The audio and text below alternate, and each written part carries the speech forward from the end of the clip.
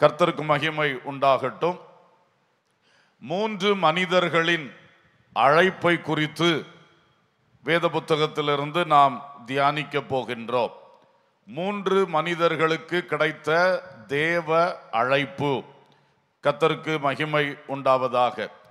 முதலாவதாக யோனா தீர்க்கதரிசிக்கு உண்டான ஒரு தேவ அழைப்பை குறித்து நான் உங்களுக்கு சொல்லும்படியாக விரும்புகிறேன். யோனா தீர்க்கத்தரிசி இந்த மனிதனுக்கு கிடைத்த அழைப்பிலே அழைப்பை நிராகரித்து அழைப்பை நிராகரித்து அப்புறம் அடிபட்டு திரும்பி வந்து அழைப்பை ஏற்றுக்கொண்டான். சுருக்கமாக சொன்னான். யோனா பெற்ற அழைப்பை நிராகரித்தான். பிறகு அடிபட்டு திரும்பி வந்து அழைப்புக்கு அர்ப்பணித்தான். யோனா தீர்க்கதர்சன் தீர்க்கதர்சியின் புத்தகம். முதலாம் அதிகாரம் முதல் இரண்டு வசனங்கள். அமித்தாயின் குமாரனாகிய யோனாவுக்கு கர்த்தருடைய வார்த்தை உண்டாகி அவர் நீ எழுந்து மகா நகரமாகிய நினைவைக்கு போய் அதற்கு விரோதமாக பிரசங்கி அவர்களுடைய அக்கிரமம் என் சமூகத்தில் வந்து எட்டினது என்றார். அப்பொழுது யோனா கர்த்தருடைய சமூகத்தினின்று விலகி தர்ஷீஸுக்கு ஓடி போகும்படி எழுந்து யோப்பாவுக்கு போய் தர்ஷீஸுக்கு போகிற ஒரு கப்பலை கண்டு கூலி கொடுத்து தான் கர்த்தருடைய சமூகத்தினின்று விலகும்படி அவர்களோட தர்ஷீஸுக்கு போக கப்பல் ஏறினான். அல்லேலூயா. இந்த மனிதனை குறித்து பாருங்கள். தேவன் அவனுக்கு ஒரு பெரிய அழைப்பை கொடுத்தார். நீ எழும்பு. நினிவே என்கிற மகா நகரத்துக்கு போ. அது மிக பாவம் செய்து கொடிய தண்டனைக்கு பாத்திரமாய் இருந்து கொண்டிருக்கின்றது. அதற்கு விரோதமாக பிரசங்கி என்று சொன்னார். அழைப்பை கொடுத்தார். இடத்தை குறித்து சொல்லிக் கொடுத்தார். எப்படி பிரசங்கம் பண்ண வேண்டும் என்றும் சொல்லிக் கொடுத்தார். இந்த மனுஷனை பாருங்கள். உடனே எழும்பி கர்த்தருடைய சமூகத்துக்கு விலகி கர்த்தருடைய வார்த்தைக்கு கீழ்ப்படியாமல் அவன் பாட்டுக்கு தர்ஷீஷ் என்கிற இன்னொரு இடத்துக்கு நேராக கூலி கொடுத்து கப்பல் பயணத்தை மேற்கொள்ள தொடங்கினான். வினோதமான மனிதனாக இருக்கின்றான். கர்த்தருக்கு ஸ்தோத்திரம். அப்போ இப்படியாக இவன் கர்த்தருடைய வார்த்தைக்கு கீழ்ப்படியாமல் எதிரடையாய் அவன் பயணம் புறப்பட்ட வேளையிலே தேவ சமூகத்தை விட்டு விலகி என்று சொல்லுகிறார். அவர் சமூகத்திலே நிற்க கூடாது என்னை நினிவை போ சொல்றார். என்னை நினைவைக்கு போக சொல்றதுனால அவர் சமூகத்திலே நிற்காம விலகி ஓடி போகணும். ஏ- அவனுக்கு அவன் பெரிய தீர்க்கதரிசி தான். ஆனால் கர்த்தோடைய சமூகத்துக்கு விலகி எங்கேயாவது ஓட முடியுமா? அதை பற்றின ஐடியா அவருக்கு இல்லாமல் போச்சு போல இருக்கு. நீ கடல்ல போனாலும் நீ ஆகாயத்தில் போனாலும் கத்துடைய சமூகத்துக்கு நீ விலகி போக முடியாது. அல்லே லூயா நூற்றி முப்பத்தொன்பதாம் சங்கீதம் மிக தெளிவாய் சொல்லுகிறது. வானத்துக்கு ஏறினாலும் நீர் அங்கே இருக்கிறீர். பாதாளத்தில் படுக்கை போட்டாலும் நீர் அங்கேயும் இருக்கிறீர். உம்முடைய சமூகத்தை விட்டு நான் எங்கேயும் என்ன முடியாது. ஓட முடியாது. இந்த தீர்க்கதரிசிக்கு என்னாச்சுன்னு தெரில கீழ்ப்படியாமை. இஷ்டம் இல்லை ஆண்டவர் சொல்ல கீழ்ப்படிவுக்கு அவனுக்கு மனம் இல்லை ஆகையினால் தேவ அழைப்பை நிராகரித்து விட்டு நேர் எதிராக ஒரு பயணத்தை மேற்கொண்டான். அவ்விதமாய் மேற்கொண்ட பொழுது கர்த்தர் செய்த கிரியைகளை பாருங்கள். சமுத்திரத்தின் மேல் பெருங்காற்றை அனுப்பினார். அல்லேலூயா. அந்த வசனங்களை கவனித்தால் புரியும். நான்காம் வசனத்திலே சமுத்திரத்தின் மேல் ஒரு பெருங்காற்றை கர்த்தர் அனுப்பினார். நீ தேவ சமூகத்துக்கு விலகி போகிறாய். உன்னோடு கூட இப்பொழுது ஒரு பெருங்காற்று வருகிறது. அல்லேலூயா. ஸ்தோத்திரம். நீ தேவ சமூகத்துக்குள் நின்றால் தேவ வார்த்தைக்கு கீழ்ப்படிந்தால் உன் வாழ்க்கை சமாதானமாக இருக்கும். ஆனால் இப்பொழுது யோனாவு நீ கர்த்தருடைய அழைப்பை விட்டுவிட்டு நேர் எதிர் திசையில் பயணிக்கிறாய். உன் வாழ்க்கை கர்த்தருக்கு கீழ்ப்படியாமல் வித்தியாசமான ஒரு பாதையில் போய்கொண்டிருக்கிறது அவ்வண்ணம் போகும் பொழுது வாழ்க்கையிலே பெருங்காற்று உன்னை சுற்றிலும் பெருங்காற்று நீ போகிற சமுத்திரத்திலேயே பெருங்காற்று ஒரு கீழ்ப்படியாத மனுஷன் எங்கு சென்றாலும் அவன் நிமித்தம் எல்லாருக்கும் மோசம் நாசம் உண்டாகும். அதுதான் இங்கே யோனா விஷயத்திலே நடந்தது. இவன் ஒருவனுடைய கீழ்ப்படியாமை தேவனுடைய அழைப்புக்கு அவன் இணங்காத அந்த காரியத்தினாலே சமுத்திரத்திலே கர்த்தர் பெருங்காற்றை விட்டார். இப்ப பெருங்காற்று வந்த பொழுது அந்த கப்பலில் இருந்த ஜனங்கள் எல்லாரும் பயந்து ஜெபம் பண்ணினார்கள் என்று ஐந்தாம் வசனத்தில் படிக்கிறோம். அந்த மக்களெல்லாம் ஜெபம் பண்ணினார்கள். அவர்கள் ஜெபம் பண்ணி கொண்டு இருந்தார்கள். அதே வேளையிலே பாருங்கள் யோனாவோ நித்திரை பண்ணி கொண்டிருந்தான். ஜெபிக்க வேண்டிய யோனா நித்திரை இந்த மக்களுக்கெல்லாம் இவன் நிமித்தம் இந்த மாதிரி போராட்டம் உண்டாகி அவர்களெல்லாம் என்ன பண்ணி கொண்டிருக்கிறார்கள்? தேவனை நோக்கி வேண்டி கொண்டிருக்கிறார்கள். அல்லேலூயா ஸ்தோத்திரம். கீழ்ப்படியாதவன் நித்திரையா இருக்கிறான். கத்தருக்கு ஸ்தோத்திரம். ஒரு துணிஞ்ச கட்டையா இருக்கிறான். தூங்கி கொண்டு இருக்கிறான் அந்த பெருங்காற்றின் நடுவிலும் கத்தருக்கு ஸ்தோத்திரம். என்னதும் ஆகட்டும். நான் நினைவேக்கு போக மாட்டேன் அப்படி ஒரு வைராக்கியமா அவன் செயல்பட்டு கொண்டிருக்கிறான். நான் சொல்லுகிற வார்த்தைகள் யாரோ ஒருவருடைய வாழ்க்கைக்கு பொருந்தினதா இருக்கிறது என்று சொன்னால் நீங்க கொஞ்சம் கூட சற்று கவனமாக இந்த வார்த்தைகளை பின்பற்றி வரும்படி அன்போடு உங்களை கேட்டுக்கொள்ளுகிறேன். அல்லேலூயா!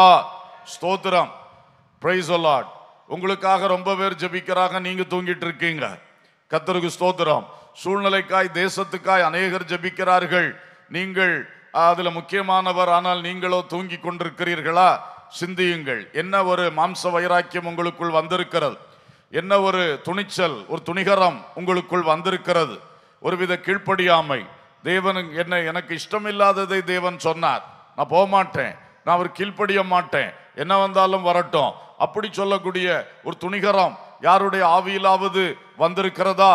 சகோதரனே சகோதரியே கர்த்தர் உனக்கு உன்னை பார்த்து இந்த காரியத்தை செய் என்று சொல்லி இருக்கும் பொழுது அதை செய்ய உனக்கு பிரியமில்லாத காரணத்தினாலே உன் இதயம் வர வர கடினப்பட்டு கொண்டு இருக்கிறதா நீ ஆராதிக்கிறதில்லை பாடுகிறதில்லை ஜெபிக்கிறதில்லை கர்த்தருடைய காரியத்தில் முன்னிருந்தது போல் இருக்கிறதில்லை. காரணம் ஆண்டவர் சொன்ன ஒரு சத்தியம் ஒரு உபதேசம் அல்லது கர்த்தர் ஒரு ஊழிய கிரியை செய்ய சொன்னார் ஒரு காரியத்துக்காய் உன் வாழ்க்கையை ஆயத்தம் பண்ண சொன்னார் அதை நீ செய்ய உனக்கு பிரியம் இல்லாத படிக்கு நீ மனசை கடினப்படுத்தி கொண்டு வருகிறாய். இப்பொழுது கர்த்தரை நினைத்தாலும் உனக்கு ஒரு தேவ பயம் வருகிறதில்லை. மக்களை நினைத்தாலும் ஒரு மன உருக்கம் வருகிறதில்லை. மனம் இறுக்கமாகி கொண்டிருக்கின்றது. இந்த மனுஷன் பெருங்காற்றின் நடுவிலும் மன இறுக்கத்தோடு மன கடினத்தோடு அவன் நித்திரை செய்து கொண்டு இருந்தான் என்று பார்க்கிறோம். இப்போ அவனை எழுப்பி அவள் என்ன சொல்லுகிறார்கள்? ஆறாம் வசனத்திலே மாலுமி அவனிடத்தில் வந்து அவனை எழுப்பி ஜோம் பண்ண சொல்லுகிறான். தீர்க்கதரிசிய உலகத்து மாலுமி ஒருத்தன் வந்து தட்டி எழுப்பி அப்பா எல்லாரும் ஜோம் பண்ணி கொண்டு இருக்கிறோம் நீ மட்டும் தூங்கிட்டு இருக்கிற எழும்பி ஜோம் பண்ணுன்னு சொல்றான். அல்லே லூயா ஸ்தோத்திரம். இங்கேயும் சில யோனாக்கள் காலை ஐந்து மணி ஜெபத்திற்கு யாராவது எழுப்பி விட்டு ஜெபம் பண்ணுன்னு சொல்ல வேண்டியது இருக்கிறது. கத்தருக்கு ஸ்தோத்திரம். அந்த நிலைமைகள் எல்லாம் மாறி அவரவர் மன உற்சாகத்தோடு ஜெபிக்க வேண்டிய நேரம் எழும்பி ஜெபிப்பீர்களாக. அப்பொழுதுதான் கர்த்தர் உங்கள் மேல் வைத்த அழைப்பு நிறைவேறும். அல்லேலூயா! ஸ்தோத்திரம். யோனா தூங்கி கொண்டிருக்கிறான். பிறர் வந்து தட்டி எழுப்புகிறார்கள். சுருக்கமாக சொல்றேன். கடைசியில் யார் நிமித்தம் இந்த ஆபத்து வந்துன்னு சொல்லி ஏழாம் வசனத்திலே சீட்டு போட்டார்கள். சீட்டு போட்ட பொழுது சீட்டு கரெக்டா யோனாவின் பேருக்கு விழுந்தது. ஒரு அல்லா சொல்லுவோம் அல்லூயா ஸ்தோத்திரம். கர்த்தருடைய சமூகத்தில் நான் பிடிபட்டு நிற்க மாட்டேன் விலகி ஓடிடுவேன்னு இப்ப சீட்டு அவனை விடாம பிடிக்குது. கர்த்தருக்கு ஸ்தோத்திரம். பாருங்க கர்த்தருடைய அழைப்பை விட்டு விலகி போற மனுஷர்களுக்கு ரொம்ப தொந்தரவு. நீ கத்தோடைய பிடியில நிக்க மாட்ட. இப்போ மாலுமி வந்து உன்னை தட்டி எழுப்பி ஜோமனை சொல்ல வேண்டிய பரிதாபம். சீட்டு ஓந்தலையிலே விழுந்த பரிதாபம். இப்படி நிறைய பரிதாபங்கள் கடந்த காலங்களில் உங்கள் வாழ்க்கையில் பார்த்து கொண்டிருக்கிறீர்களா? அதற்கு முந்தின காலம் வரைக்கும் நல்ல ஒரு வீரனாக இருந்தீர்கள். நல்ல ஒரு வீராங்கனையா இருந்தீர்கள். உங்களை பார்த்து நாலு பேர் பின்பற்றத்தக்கதாய் உங்கள் காரியங்கள் எல்லாம் இருந்தது. அதான் என்றைக்கு கத்தோடைய சொல்லு கீழ்ப்படியாம உபதேசம் கைக்கொள்ளாம அவர் சொன்ன வேலையை செய்யாம அல்லது கத்தர் ஊழியத்துக்கு அழைத்து ஊழியத்துக்கு வராம மிஷினரியா போன்னு சொல்லி மிஷினரியா போறதுக்கு ஆயத்தமாகாம நீங்க தர்ஷீஸ் பயணத்தில் ஆகியிருக்கிறீர்களோ நிறைய பிரச்சனைகள் தான். தேவையில்லாதெல்லாம் உங்க தலைக்கு மேல வருது. சும்மா போனதெல்லாம் உங்களோட உங்களுக்கு மேல அதிகாரம் செலுத்த ஆரம்பிக்குது. என்ன பரிதாபம்? ஏனென்றால் நீ இந்த கப்பல்ல இருக்க வேண்டிய ஆள் அல்ல. இந்த பயணத்தில் இருக்க வேண்டிய ஆள் அல்ல. நீ போய் உனக்கும் எல்லாருக்கும் கலக்கத்தையும் குழப்பத்தையும் உண்டாக்கி கொண்டிருக்கிறாய். சீட்டு உன் தலையிலே விழுந்தது. இப்போ யோனாவுக்கு விசாரணை நடக்குது. எட்டாம் வசனத்திலிருந்து பத்தாம் வசனம் வரைக்கும். பாருங்க அவருக்கு கப்பல்லே நீதிமன்றம். கப்பல்லே என்ன நடக்குது அவருக்கு? விசாரணை நடக்குது. ஏன்பா இங்க வந்த? ஏன்பா இந்த கப்பல்ல டிக்கெட் எடுத்த? உனக்கு வேற கப்பலே காணலையாப்பா. பயங்கரமான விசாரணை அங்கே அவருக்கு நடக்குது. என்ன கேவலம்? என்ன சங்கடம்? எவ்வளவு பெரிய தீர்க்கதரிசி? இந்த மனுஷனை அந்த பயங்கரமான பாவக்கட்டில் கிடக்கக்கூடிய நினிவையை ஒழுக்கிறதுக்கு ஆண்டவர் தெரிந்து கொண்டா இந்த ஆள் வந்து இவர் நிமித்த கப்பல் குலுங்கிக்கிட்டு கிடக்கு சமுத்திரம் குலுங்கிக்கிட்டு கிடக்கு. உன்னை சமுத்திரத்தையும் கப்பலையும் குலுக்கி எல்லாரையும் பயமுறுத்துறதுக்கா ஆண்டவர் அழைத்தார். நினிவேயில போய் கர்த்தரால் உண்டாகிற அசைவை காண்பிக்கும்படி அல்லவா கர்த்தர் உன்னை அழைத்தார். அல்லேலூயா. அந்த மேன்மையை நீ விட்டுவிட்டு உன் குடும்பத்தை போட்டு கலக்கி கொண்டிருக்க காரணமா இருக்கிறாயே. உன்னை உன்னை சார்ந்தவர்கள் எல்லாம் கலங்கி போக நீ காரணமா இருக்கிறாயே. இன்றைக்கு நீ எங்க இருந்தாலும் எங்கே இந்த வார்த்தையை கேட்கிற வாய்ப்பு கிடைத்தாலும் சகோதரா நீ கத்தருடைய சத்தத்துக்கு கீழ்ப்படி. அவர் சொன்னதை கேட்டு நட. உன்னுடைய பயணம் சரியில்லை. நீ ஒரு ஒரு ஒவ்வொரு இடம் வேலை வாய்ப்பு தேடி ஓடுகிறாய். உனக்கு ஏதாவது சமாதானம் உண்டாயிற்றா? வேலை கிடைச்சுதா? கிடைச்ச வேலையில நீடிக்க உனக்கு முடிந்ததா? ஒன்றும் முடியல. ஏன்னா உன் பயணம் முற்றிலும் தர்சீஸ் பயணம். இன்றைக்கு அந்த பயணத்தை குறித்து நீ சிந்தித்து மனம் திரும்பினால் கர்த்தர் யோனாவுக்கு ரெண்டாவது முறை கொடுத்த கிருபையை உனக்கும் தருவாராக. அல்லேலூயா. சரி இப்போ பயங்கர விசாரணை நடந்தது. விசாரணையில் இவனை வந்து தேவபக்தி உள்ளவன்னு தெரிஞ்சுக்கிட்டாங்க. தேவபக்தி உள்ளவன்னு கண்டுபிடிச்சிக்கிட்டாங்க. அடுத்தது தேவ சமூகத்துக்கு விலகி ஓடுகிறவனும் கண்டுபிடிச்சிட்டாங்க. இவரை பற்றின விசாரணை முடிவு ரெண்டு சாட்சி. என்ன சாட்சி? ஆளு நல்ல தேவபக்தி உள்ள மனுஷன். அதில் ஒன்றும் நம்ம தப்பு சொல்லதுக்கு இல்லை. நல்ல தேவபக்தி உள்ள மனுஷன். ஆனால் இவர் வந்து தேவ சமூகத்தை விட்டு ஓடுகிற மனுஷன். நல்லா பார்த்துக்கிடுங்க. ஒரு பக்கம் தேவ பக்தி இன்னொரு பக்கம் என்னது? தேவ சமூகத்தை விட்டு விலகி ஓடுற தன்மை. சிலருக்கு இப்படி இருக்கும். ஒரு பக்கம் தேவ பக்தி இன்னொரு பக்கம் தேவனுக்கு கீழ்ப்படியாம. கீழ்ப்படியாம. ரெண்டும் சேர்ந்தே இருக்குது பாருங்க. ஆள் துன்மார்க்கம் கிடையாது. மோசக்காரர் கிடையாது. நல்ல மனுஷன். தேவனுக்கு பயப்படுகிறவன். தேவ பக்தி உள்ளவன் தேவ பக்தி உள்ளவன் தான் ஆனால் கீழ்ப்படியாதவன். தேவ பக்தி உள்ளவன் தான் ஆனால் தேவ சமூகத்தை விட்டு விலகி ஓடுகிறவன். இன்று யாருக்காயிலும் இப்படிப்பட்ட விஷயம் இருக்குன்னா கர்த்தர் உங்களுக்கு தான் பேசுகிறார். கர்த்தருக்கு ஸ்தோத்திரம். ஆகவே தேவ பிள்ளைகளே உங்கள் தேவ பக்தியை கர்த்தர் அறிந்திருக்கிறார். ஊர் உலகமும் அறிந்திருக்கு. எல்லாரும் அறிந்திருக்கிறார்கள். ஆனால் இன்றைக்கு நீ போகிற போக்கு தவறான போக்கு. தேவ சமூகத்தை விட்டு விலகி செல்லுகிறாய். தேவனுக்கு அப்பட்டமா கீழ்ப்படியாம பண்ணிட்டு துணிச்சலோடு நீ என்ன பண்ற? மருதிசையில் நீ பயணித்துக் கொண்டிருக்கிறாய். கத்தருக்கு ஸ்தோத்திரம். இப்படி கண்டுபிடிச்சாங்க. கண்டுபிடிச்சிட்டு கடைசியில் இப்போ நீ நடுக்கடல்ல வந்தாச்சு நீ இந்த ஆளை கரையில் கொண்டும் விட முடியாது. என்ன பண்ணலாம்? அப்போ யோனாவே ஆலோசனை கொடுக்குறாரு என்னை தூக்கி கடல்ல போடுங்க. என்ன தூக்கி? என்ன துணிகரம் பார்த்தீங்களா? என்ன மனக்கடினம்? தேவ பக்தி நல்லதுதான். ஆனால் இவர் ஒரு தீர்மானம் எடுத்துட்டார். என்ன வந்தாலும் நினைவே போக மாட்டேன். கர்த்தர் சொல்கிற இந்த வார்த்தையை நான் என்ன செய்ய மாட்டேன்? கீழ்ப்படிய மாட்டேன். துணிஞ்சு சொல்லார் என்னைய தூக்கி கடலில் போடு. நீங்கள்லாம் நிம்மதியாக போங்க. என்னைய தூக்கி என்ன பண்ணுங்க? கடலில் போடு அப்படின்னு சொல்லியாச்சு. அப்புறம் பாருங்கள் அவர்களுக்கு மனசாட்சி இருக்கு. பதிமூணாம் வசனத்தில் படிக்கிறான் அவன் பெரிய முயற்சி எல்லாம் பண்ணுறாங்க எப்படியாவது சரிப்படுத்தி எடுத்து கொண்டு போக முடியுமா? நல்லா முயற்சி பண்ணா ஒரு முயற்சியிலே நிற்காது கத்தருக்கு ஸ்தோத்திரம். யோனா உள்ள இருக்கிற வரைக்கும் எந்த முயற்சியிலையும் சமாதானம் வராது. அந்த குடும்பத்துக்கு அந்த படகுக்கு அந்த மக்களுக்கு ஒரு விதத்திலும் சமாதானமோ பாதுகாவலோ இல்லை. அப்புறம் கடைசியிலே அவர்களும் ஜெபித்தார்கள் பதினான்காம் வசனத்திலே. அவர்களும் என்ன பண்ணாங்க? நல்லா கர்த்தரை நோக்கி கூப்பிட்டார்கள் ஜெபித்தார்கள். எல்லாம் செஞ்சுட்டு பதினஞ்சாம் வசனத்தில் யோனாவை தூக்கி கடலிலே போட்டார். நல்ல மனுஷர்கள் இல்லை? அவளெல்லாம் விசுவாசி கூட்டம் அல்ல சீசர் கூட்டம் அல்ல கத்தருக்கு ஸ்தோத்திரம். எந்த தேவனை நோக்கி வேண்டினார்களோ எனக்கு தெரியல. ஆனால் அவங்களுடைய தேவ பக்தியை பாருங்களேன். இவன் சொன்ன பிறகு கூட உடனே தூக்கி போட்டு நாங்கள் பிழைச்சிக்கிறோம்னு சொல்லலை. மனசாட்சி இருந்தது. எப்படியாவது சரி பண்ணலாமான்னு முயற்சி பண்ணாங்க. முடியல. திரும்பவும் எல்லாரும் சேர்ந்து ஜோம் பண்ணாகலாம் ஜோம் பண்ண அதுலேயும் ஒன்றும் நடக்கல. அப்போ இனி வேற வழியே இல்லை. என்று சொல்லி இத்தனை பேருடைய உயிரை காப்பாற்றணும்னா இந்த ஒரு உயிரை என்ன செய்ய வேண்டியதா இப்போ? தூக்கி போட்டுற வேண்டியதான் சொல்லி அத்தனை பேருடைய உயிரை காப்பதற்காக யோனாவை தூக்கி சமுத்திரத்திலே போட்டு விட்டார்கள். அல்லேலூயா! யோனா நீ தேவ சமூகத்துக்கு விலகி தர்ஷிசு போவேன்னா இப்போ சமுத்திரத்தில் விழுந்து கிடக்கிற. தர்ஷிசு போனியா நீ? டிக்கெட் எடுத்து கரெக்டு தான். கரெக்டான படகுல தான் ஏறினேன் ஆனால் அவன் போக முடிஞ்சுதா? தர்சீஸுக்கு நீ தேவ சமூகத்தை விட்டு விலகி ஓடுவேன்னு ஓடுனவன். நடு சமுத்திரத்தில் ஒரு உதவி இல்லாமல் நீ சமுத்திரத்தில் கிடக்கிறாய். சிலர் வாழ்க்கையில் இப்படி தான் பாவம். ஆண்டவர் கீழ்படியாமல் போய் போய் போய் இன்னைக்கு மாட்டி கிடக்கிறது பார்த்தா சரியான சமுத்திரத்தில் மாட்டி கிடக்கிறார்கள்.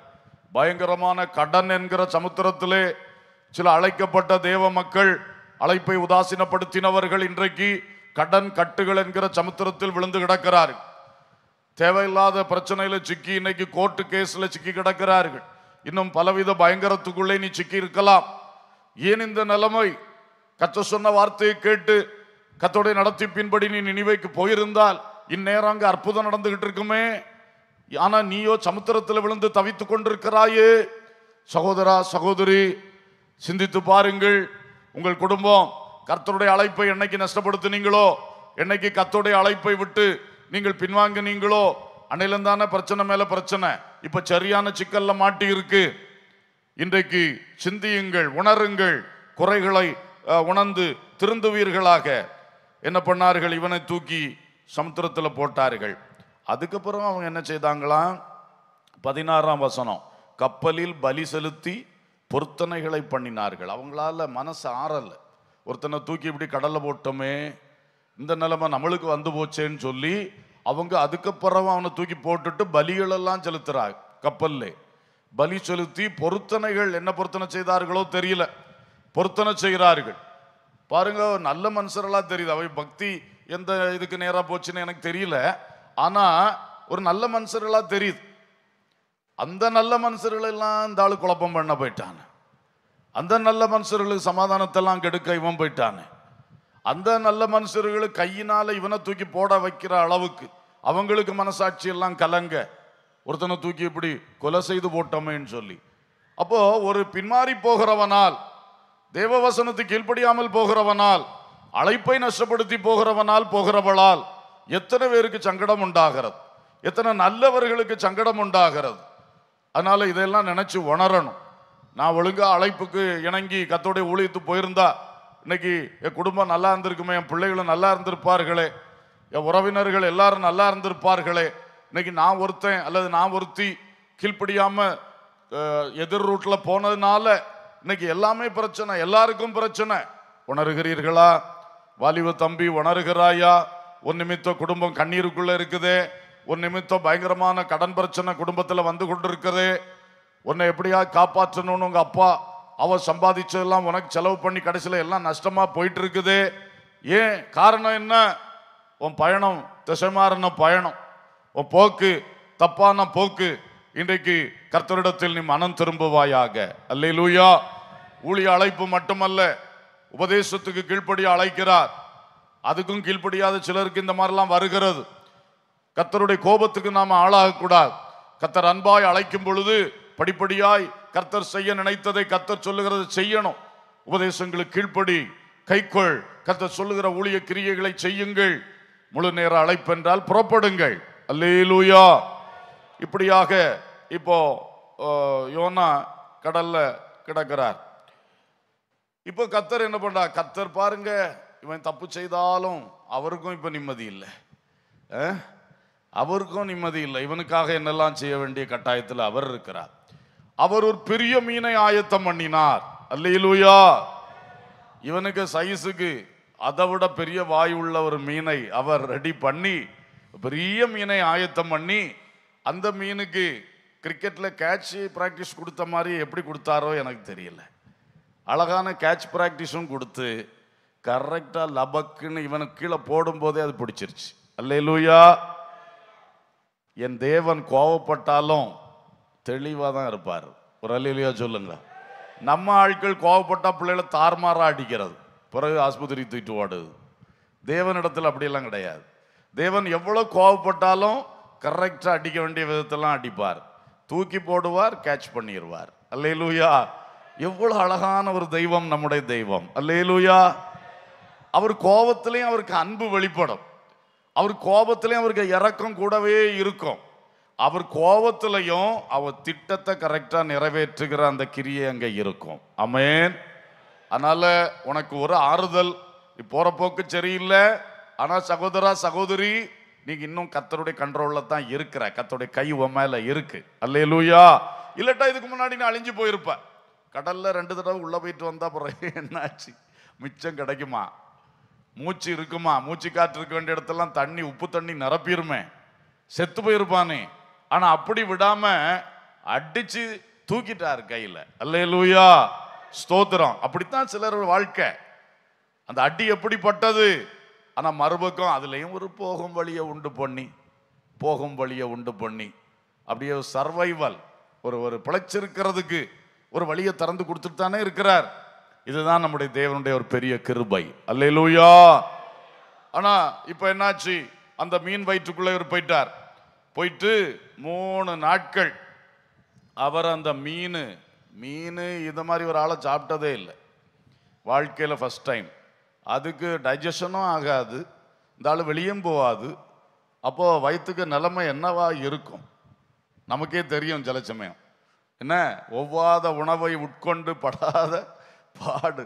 இந்த மீனுக்கு அந்த நிலைமை தான் மூணு நாளாக மேலே ஏறும் கீழே இறங்கும் டைவடிக்கும் அதெல்லாம் தான் அவர் பாடுகார். ஐயோ நான் அங்கே போய் இறங்கினேன் இங்கே இறங்கினேன் எனக்கு அப்படி ஆச்சு இப்படி ஆச்சு அது மீன் ஒரு சமாதானம் இல்லாமல் போட்டு இவரை குலுக்கு குலுக்குன்னு குலுக்கி ஒரு வழி பண்ணி மூன்றாம் நாளில் கத்தர் அதற்கொரு விடுதலையை கொடுத்து இந்த ஆளையும் கொண்டு கரெக்டாக கரையில் கக்கி போட்டுச்சு. அல்லே லூயா அல்லே லூயா எவ்வளோ டீசெண்டாக நினைவே போயிருக்கலாம். எவ்வளோ அழகாக நினைவைக்கு ஒரு டிக்கெட் எடுத்து அழகாக போய் இறங்கியிருக்கலாம். அதை விட்டுக்கிட்டு இந்த பரிதாபங்கள் இந்த நாசமோசங்கள் தீமைகள் கஷ்டங்கள் கடைசியில் ஆண்டவர் குலுக்கி ஊத்துன மாதிரி கொண்டு என்ன பண்ணிட்டாரு?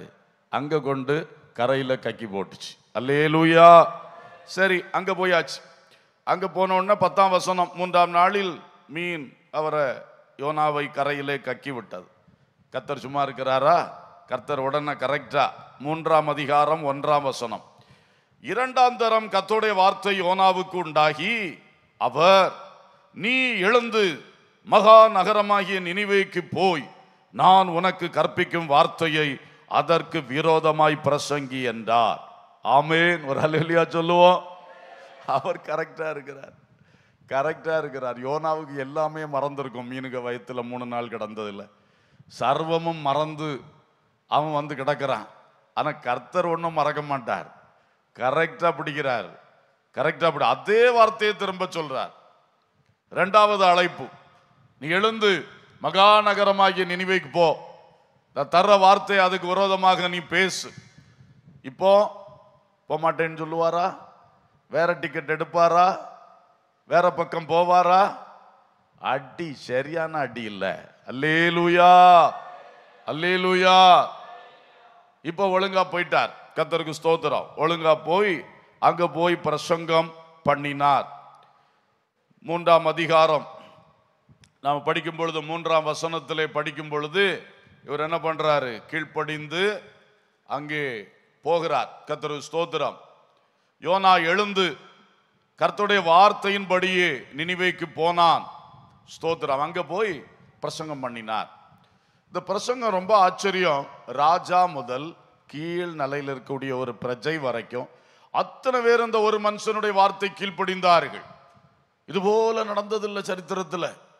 ஒரு பட்டணம் அதுவும் பெரிய பட்டணம் தலைநகர் பட்டணம் மகாநகரம் பெரிய மெட்ரோபாலிட்டன் சிட்டி அந்த பெரிய பட்டணத்திலே உள்ள ராஜா தொடங்கி கீழ்நிலையில் உள்ள ஒரு மனுஷன் வரைக்கும் அத்தனை பேரும் மனம் திரும்பினார்கள். ஒரு அல்லா சொல்லுவோம். பைபிள் சரித்திரத்திலே இது ஒரு பெரிய அற்புதமான ஒரு மனம் திரும்புதல். அல்லா பட்டணம் முழுவதும் அசைக்கப்பட்டது. பவுல் பல பட்டணங்கள் பிரசவம் பண்ணி இருக்கிறார். பிரசவம் பண்ணி முடித்த உடனே கூட்டம் ரெண்டாக பிரியும்.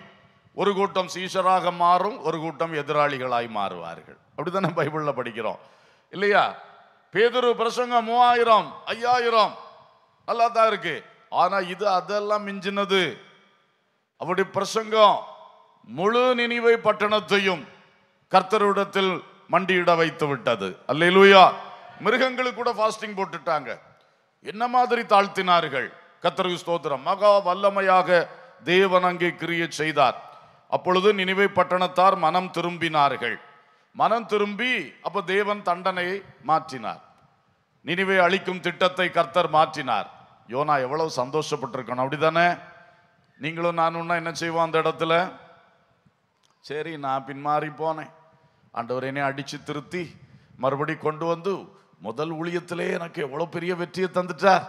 இவ்வளோ கூட்டமாக மக்கள் மனம் திரும்பிட்டாக என்று நம்ம சந்தோஷப்படுவோம். இந்த ஆளுக்கு என்ன உண்டாயிட்டான்? மிகவும் விசனம் அடைந்தான் மிகவும் விசனம் அடைந்தான் அடிக்கு பயந்து தான் வந்தாரே தவிர இன்னும் ஆள் திருந்தல்ல உள்ளம் திருந்தல்ல. கத்தருக்கு ஸ்தோத்திரம். இவ்வளோ பெரிய ரட்சிப்பு உண்டானா? ஒரு ஊழியக்காரன் எவ்வளோ மகிழணும். கோபமும் விசனமும் வந்து நாலாதிகாரம். ஒன்றாம் வசனத்தில் விசனம் அடைந்தான் மூன்றாம் வசனத்தில் சாவை விரும்பினான். திரும்பியும் சாவை விரும்பினானா? ஐயோ இப்படி ஒரு கேரக்டர் பார்க்கவே பயங்கரமாக இருக்கு. ஆண்டவர் எப்படி இந்த மனுஷனை சகித்து பொறுத்து நடத்தினார்? ஸ்தோத்திரம். எல்லாரையும் ஆண்டவர் நடத்த வல்லவராய் இருக்கிறார். ஆமேன். சிலவில் நம்ம சுபாவங்கள் சரியில்லை. சரியில்லாமல் இருந்தாலும் கர்த்தருடைய அழைப்பு இருந்தால் அவர் சரிப்படுத்தத்தான் விரும்புகிறாரே தவிர உன்னை தள்ளிவிட விரும்பல. அல்லேலூயா. இப்போ இந்த ஆளை சரிப்படுத்துகிற வேலையை ஆரம்பிச்சிட்டார் கர்த்தர். நினிவேக்கு ரட்சிப்பு கொடுத்தாச்சு. இப்போ நினிவேக்கு ரட்சிப்பு உண்டாக்கின பிரசங்கியாரை ரட்சிக்கணும்? இப்போ நினிவேக்கு ரட்சிப்பை கொண்டு வந்த பிரசங்கியாரை ரட்சிக்கிறதுக்கு கர்த்தர் அடுத்த கிரியை. அதுக்கு என்ன செய்கிறாரு முதல்ல இவருக்கு ஒரு ஃபிஷ் ட்ரீட்மெண்ட் கொடுத்தார். மீனை வச்சு ஒரு ட்ரீட்மெண்ட் கொடுத்தார். அதில் தான் வந்து ஊழியத்தை நிறைவேற்றினார். ஆனால் சுபாவம் திருந்தல்ல இப்போ ஆமணக்கு செடி ட்ரீட்மெண்ட் கொடுக்குறார். ஆமணக்கு செடி ட்ரீட்மெண்ட் அடுத்தது இவருக்கு. அப்போ இவர் போய் பட்டணத்துக்கு வெளியே நினைவைக்கு வெளியே குடிசை போட்டு உட்கார்ந்துருக்கிறார் ஐந்தாம் வசனத்தில். ஐயா நீ குடிசை போட்டு உட்கார வேண்டியவனா? ராஜ அரண்மனைக்குள்ளெல்லாம் நீ இப்போ இந்த நேரம் உட்கார்ந்துருக்கணும். ராஜாவே மனம் திரும்பி இருக்காரு. என்ன? ராஜாவே மனம் திரும்பி இருக்கார் நினிவேயே மனம் திரும்பி இருக்கு. உன் புத்திய பாரு உன் சுபாவத்தை பாரு. நீ அதெல்லாம் விட்டு கோவத்தில் விசனத்தில் போய் வெளியே போய் குடிசை போட்டு உட்காந்து இந்த நகரத்துக்கு நடக்கிறத நான் பார்ப்பேன். அப்போ என்ன நடக்கணும்னு நினைக்கிறேன் அவன்? இந்த நகரத்துக்கு நடக்கிறத நான் படிச்சிருக்கீங்களா இதெல்லாம்? இப்போ நடந்ததை நீ பார்க்கலையா? அந்த மக்கள் எல்லாம் மனம் திரும்பி கர்த்தர் அவர்கள் மேல் இறக்கம் வச்சு தண்டனை மாற்றியாச்சு. இனி நினைவே ஆசீர்வதிக்கப்படும். ஆனால் இவர் வேற நோக்கம். இவர் சொன்ன தீர்க்க தரிசனம் நிறைவேறணும். அழிவு உண்டாகணும். அழிவு உண்டாகணும். ஐயோ இது என்ன தீர்க்க தரிசி சரி. யாருக்காவது இப்படியெல்லாம் இருக்குன்னா நான் சொல்லிகிட்டே போவேன். ஆவியானவர் உங்கள் உள்ளத்திலே இடைப்பட்டால் மகா தீர்க்கதரிசிகளாக நீங்கள் இருக்கலாம் மகா ஜெப வீரர்களாக இருக்கலாம் மகா மிஷனரி பணியிலே ஆ, முன்னணி வீரர்களாக இருக்கலாம். சுபாவமும் திருந்தணும். அல்லே லூயா இப்போ கர்த்தர் ஒரு ஆமணக்கு செடியை முளைக்க பண்ணினார் ஆறாம் வசனத்திலே. ஆண்டவர் எங்கெல்லாம் இடைப்படுறார்? கடலுக்கு மீனுக்கு இப்போ ஆமணக்கு செடி பேசுகிறாரு நீ முளைச்சு எலும்பு உடனே அந்த விதை முளைச்சு எலும்பியாச்சு டக்குன்னு. எலும்பி இவருக்கு தலைக்கு மேலே அழகாக நிழல் கொடுக்குது. கொடுத்துட்டு அடுத்த ஆண்டவர் ஒரு பூச்சிக்கு கட்டளையிடுறார் ஏழாம் வசனத்தில். பூச்சி நீ போய் அதையெல்லாம் அரிச்சு போடு. ஒன்றும் இல்லாமல் என்ன செய்ய போடு? அரிச்சு போடு. அப்போ கர்த்தர் ஒரு எக்ஸ்பெரிமெண்ட் செய்கிற மாதிரி இவனுக்கு. இவனுக்காக என்ன காரியங்களாம் செய்கிறார் பூச்சியோடு பேசுகிறார் இந்த பெரிய தேவன். அல்லையிலூயா யோனாவே உனக்காகத்தான். யார்ட்டெல்லாம் பேச வைக்கிற கர்த்தரை நீ? முதல்ல அவர் சொன்ன கேட்டு நீ போயிருந்தா இதெல்லாம் அவருக்கு கஷ்டம் உண்டா உனக்காக அவர் தன்னை தாழ்த்தி ஒரு பூச்சி இடத்துல பேசுறாரு. போய் அந்த ஆமணக் செடி அரித்து போடு. அது கீழ்ப்படிஞ்சது. நீ தான் கீழ்ப்படிய மாட்டேங்க. பூச்சி கீழ்ப்படியுது செடி கீழ்ப்படியுது மீன் கீழ்ப்படியுது. ஆனா ஆண்டவர் சாயலில் படைத்த மனுஷனாகிய நீ கீழ்ப்படியவில்லை. கீழ்ப்படிவாயாக. அப்புறம் என்னாச்சு? பூச்சி வந்து அரிச்சு தான் காலையில் கர்த்தர் உஷ்ணமான கீழ்காற்றுக்கு கட்டளை கொடுத்தார். போய் அவன் தலையில் வீசு. உஷ்ணமான கீழ்காற்றுக்கு கட்டளை கொடுக்கிறார். நேராக போய் எங்கே வீசு? யோனா தலையில் வீசு. சூடு தாங்கல்ல வெயில் தலையில். அப்போ ரொம்ப திரும்பியும் மிகவும் விசனமாகி விட்டார். அப்போ ஆண்டவர்கிட்ட அது அவர் வந்து ரொம்ப வி- இருக்கும் பொழுது கடைசியில் கத்தர் பேசினார். பத்தாம் வசனம் பதினொன்றாம் வசனம். அதற்கு கர்த்தர் நீ பிரயாசப்படாததும் நீ வளர்க்காததும் ஒரு ராத்திரியிலே முளைத்ததும் ஒரு ராத்திரியிலே அழிந்து போனதுமான ஆமணக்குக்காக பரிதபிக்கிறாயே. வலது கைக்கும் இடது கைக்கும் வித்தியாசம் அறியாத லட்சத்தி இருபத்தி லட்சத்தி இருபதினாயிரம் பேருக்கு அதிகமான மனுஷரும் அநேக மிருக ஜீவன்களும் இருக்கிற மகா நகரமாகிய நினைவேக்காக நான் பரிதபியாமல் இருப்பேனோ? அல்லேலூயா. இவ்வளவு நடத்தி காட்டிக்கிட்டு தான் அவனுக்கு சொல்லி கொடுக்கிறார். உனக்கு ஒரு நேர ஒரு நாள் உண்டான ஆமணக்கு செடி செத்து போச்சுன்னு இவ்வளோ கவலை. இந்த உயிருள்ள ஜனங்கள் லட்சக்கணக்கான ஜனங்கள் இந்த மிருக ஜீவன்கள் பறவைகள் இதையெல்லாம் அழிச்சு போட்ட எனக்கு மனம் வருமாப்பா? அப்போ அதுக்குத்தானே உன்னை அழைத்தேன் உன்னை போச்சொன்னே உன்னை இப்போ நடத்துறது எனக்கு பெரும் பாடாக இருக்குதே. கத்தருக்கு ஸ்தோத்திரம். அப்புறம் திருந்திருப்பாருன்னு நினைக்க அதோட அந்த சப்ஜெக்ட் முடிஞ்சு போச்சு. அல்லே லூயா ஸ்தோத்திரம். ஆகவே தேவ பிள்ளைகளே யோனாவை போல அழைப்பை உதாசனப்படுத்தி வேறு வழியில் நடக்கிறீர்களா? யோனாவை போல தேவ வார்த்தைக்கு கீழ்ப்படியாதபடி வேறு விதமாக நீங்கள் செயல்பட்டு கொண்டிருக்கிறீர்களா? செய்ய சொன்னதை செய்யாமல் இருக்கிறீர்களா? கீழ்ப்படிய சொன்னது கீழ்ப்படியாமல் இருக்கிறீர்களா? இன்றைக்கு இந்த இரவு கூட்டத்திலே ஒரு தீர்மானம் எடுத்து கர்த்தருடைய சித்தம் நான் செய்வேன். கர்த்தருடைய வார்த்தைக்கு நான் கீழ்ப்படிவேன் என்று தெளிவான ஒரு முடிவை எடுக்கும்படி உங்களிடத்தில் அன்போடு கேட்டுக்கொள்ளுகிறேன். அல்லேலுயா. வழி பிரயாணி மூடனை போல் வழி தவறா நடந்திடவே. வழி பிரயாணி மூடனை போல் வழி தவறா நடந்திடவே வழிதுவே என்று சொல்லும் இனிய சத்தம் தொனித்திடட்டும் வழிதுவே என்று சொல்லும் இனிய சத்தம் தொனித்திடட்டும் உம் சித்தம் போ என்னை என்றும் கற்பரனே நீர் நடத்தும். உம் சித்தம் போல்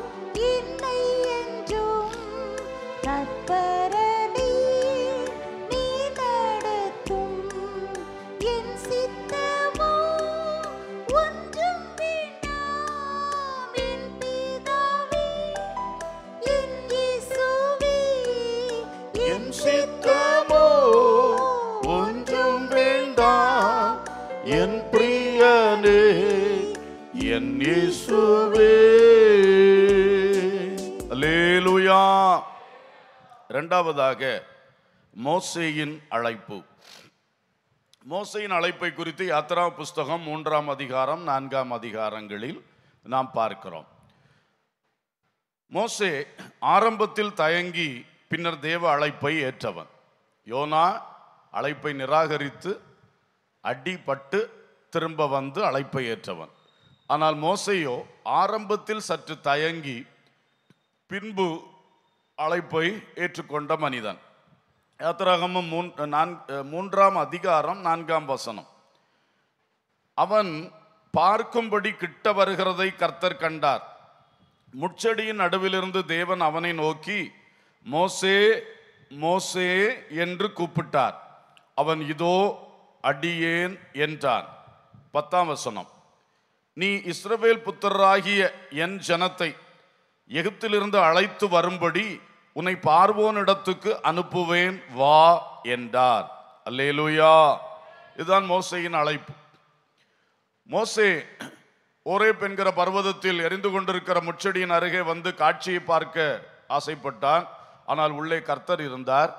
அவர் அவனை பெயர் சொல்லி அழைத்து இஸ்ரவேல் ஜனங்கள் சுமார் நானூற்று முப்பது ஆண்டுகளாக எழுத்தில் இருக்கிறார்கள். அவர்களை விடுவிக்கும்படி உன்னை பார்வோனிடத்திற்கு அனுப்ப போகிறேன் வா என்று சொன்னார். அல்லேலுயா அல்லேலுயா. கர்த்தருக்கு ஸ்தோத்திரம். இப்போ இந்த அழைப்பு கேட்ட உடனே மோசைக்கும் ஆண்டவருக்கும் ஒரு சம்பாஷணை நடக்கிறது. ஐந்து காரியங்களை மோசே கர்த்தரிடத்திலே பேசி தயங்கி தயங்கி இந்த அழைப்பு எனக்கு வேண்டாம் என்னால் முடியாது என்று சொல்லி ஒரு ஐந்து காரியங்களை கேட்டார். நான் எம்மாத்திரம். பதினொன்னாம் வசனத்தில் முதல் கேள்வி. மோசை சொல்றார் ஐயா பார்வோனை சந்திக்கிறதுக்கு நான் எம்மாத்திரம். இந்த ஜனத்தை விடுவிக்கிறதுக்கு நான் எம்மாத்திரம். என்ற ஒரு கேள்வியை அவன் கேட்டான். நான் எம்மாத்திரம். அப்ப கர்த்தர் சொன்ன பதில் பன்னிரெண்டாம் வசனத்துல நான் உன்னோடே இருப்பேன். அல்லேலூயா. நான் எம்மாத்திரம் என்று அழைப்புக்கு பயந்தவனை ஆண்டு சொல்லாரு நான் உன்னோடு இருப்பேன். மோசை பயப்படுவது காரணங்கள் உண்டு. இதே எகிப்து தேசத்திலிருந்து அந்த எகிப்து தேசத்தில் இளவரசனாக வாழ்ந்தவர். நாற்பது வருடங்களுக்கு முன்பு ஒரு கொலகேஸில் நாட்டை விட்டு ஓடினவர். அப்போ திரும்ப உள்ளே போய் கண்டுபிடிச்சானுன்னா என்ன நடக்கும்? அவன நிறைய பிரச்சனை அவருக்கு உண்டு. கத்தருக்கு ஸ்தோத்திரம். அதை சொல்ல நான் எம்மாத்திரம் ஐயா? எழுத்துக்கு போகிறதா பார்வனை சந்திக்கிறதா? நான் எம்மாத்திரம்? என்று சொல்லி அவர் கேட்டார். கத்த கத்தர் தைரியமா சொன்னார் நான் உன்னோடு இருப்பேன். அல்லேலூயா. அன்னைக்கு நாற்பது வருஷத்துக்கு முன்னாடி நீ வந்து எபிரேயனுங்கிற ஒரு வெறித்தனம் தான் உன்னோடு இருந்துச்சு. அதுதான் உன்னை இப்படி வழி நடத்திருச்சு ஆனால் இனி நான் உன்னோட இருப்பேன். எல்லாம் சரியா இருக்கும். தைரியமா போ. அல்லேலூயா. உங்களில் யாராகிலும் கர்த்தர் சில காரியத்தை செய்ய சொல்லும்போது ஞானஸ்நானம் எடுக்கவா? நான் எப்படி எடுப்பேன்? அப்படி சொல்றீங்களா? வீட்டார் என்னை விழுங்கிய போடுவார்களே என்று சொல்லுகிறீர்களா? கர்த்தர் சொல்லுகிறார் நான் உன்னோட இருப்பேன். அல்லேலூயா. இப்படி வேறுபட்டு பரிசுத்தாக முடியுமா? அண்டவரே ஏன் என்னட்ட இந்த வசனத்தை பேசிக் கொண்டிருக்கிறீர்? என்னால் முடியாது நான் எம்மாத்திரம் உன்னால் முடியும் கர்த்தர் உன்னோட இருப்பார். அல்லேலூயா. நீ கீழ்ப்படியணும் தான் கர்த்தர் விரும்புகிறார். இப்படி ஒரு ஊழிய கிரியை செய்ய நான் எம்மாத்திரம் எனக்கு ஒன்றும் தெரியாது. நான் எம்மாத்திரம் இல்லை கர்த்தர் உன்னை அந்த ஊழியத்தின் காரியத்தை செய்ய அந்த ஊழியத்தில் போய் பங்கெடுக்க அந்த ஊழியத்தில் ஒரு பங்காளியா நிற்க கர்த்தர் அழைத்தாருன்னு சொன்னா அவர் உன்னோடு இருப்பார். அல்லே லூயா அதை நீங்க தைரியமா எடுத்துக்கொள்ளுங்க. அவர் அழைத்தா அவர் கூட இருப்பார். ஆமென். அழைத்து அனுப்பிட்டு வேடிக்கை பார்க்குற தெய்வம் அல்ல. அக்கறைக்கு போவோம் வாருங்கள்னு அழைத்தார். நடுக்கடல்ல படகே தத்தளித்தது. ஆனால் அதெல்லாம் அமைதிப்படுத்தி கரெக்டாக அக்கறை கொண்டு சேர்த்தார். அல்லேலூயா. இதான் கர்த்தர். வா என்று பேதருவுக்கு ஒரு அழைப்பு கொடுத்தார். அந்த அழைப்பை பெற்று அவன் இறங்கி கடல் மேல நடந்தான். அப்புறம் திடீர்னு முழுக பார்த்தான். அவர் கைப்பிடித்து அவனை தூக்கினார். அல்லேலூயா வா என்று அழைத்தவர் உன்னை முழுகி போக விடவே மாட்டார். அல்லேலூயா அழைத்தவர் நம்மோடு இருப்பார்.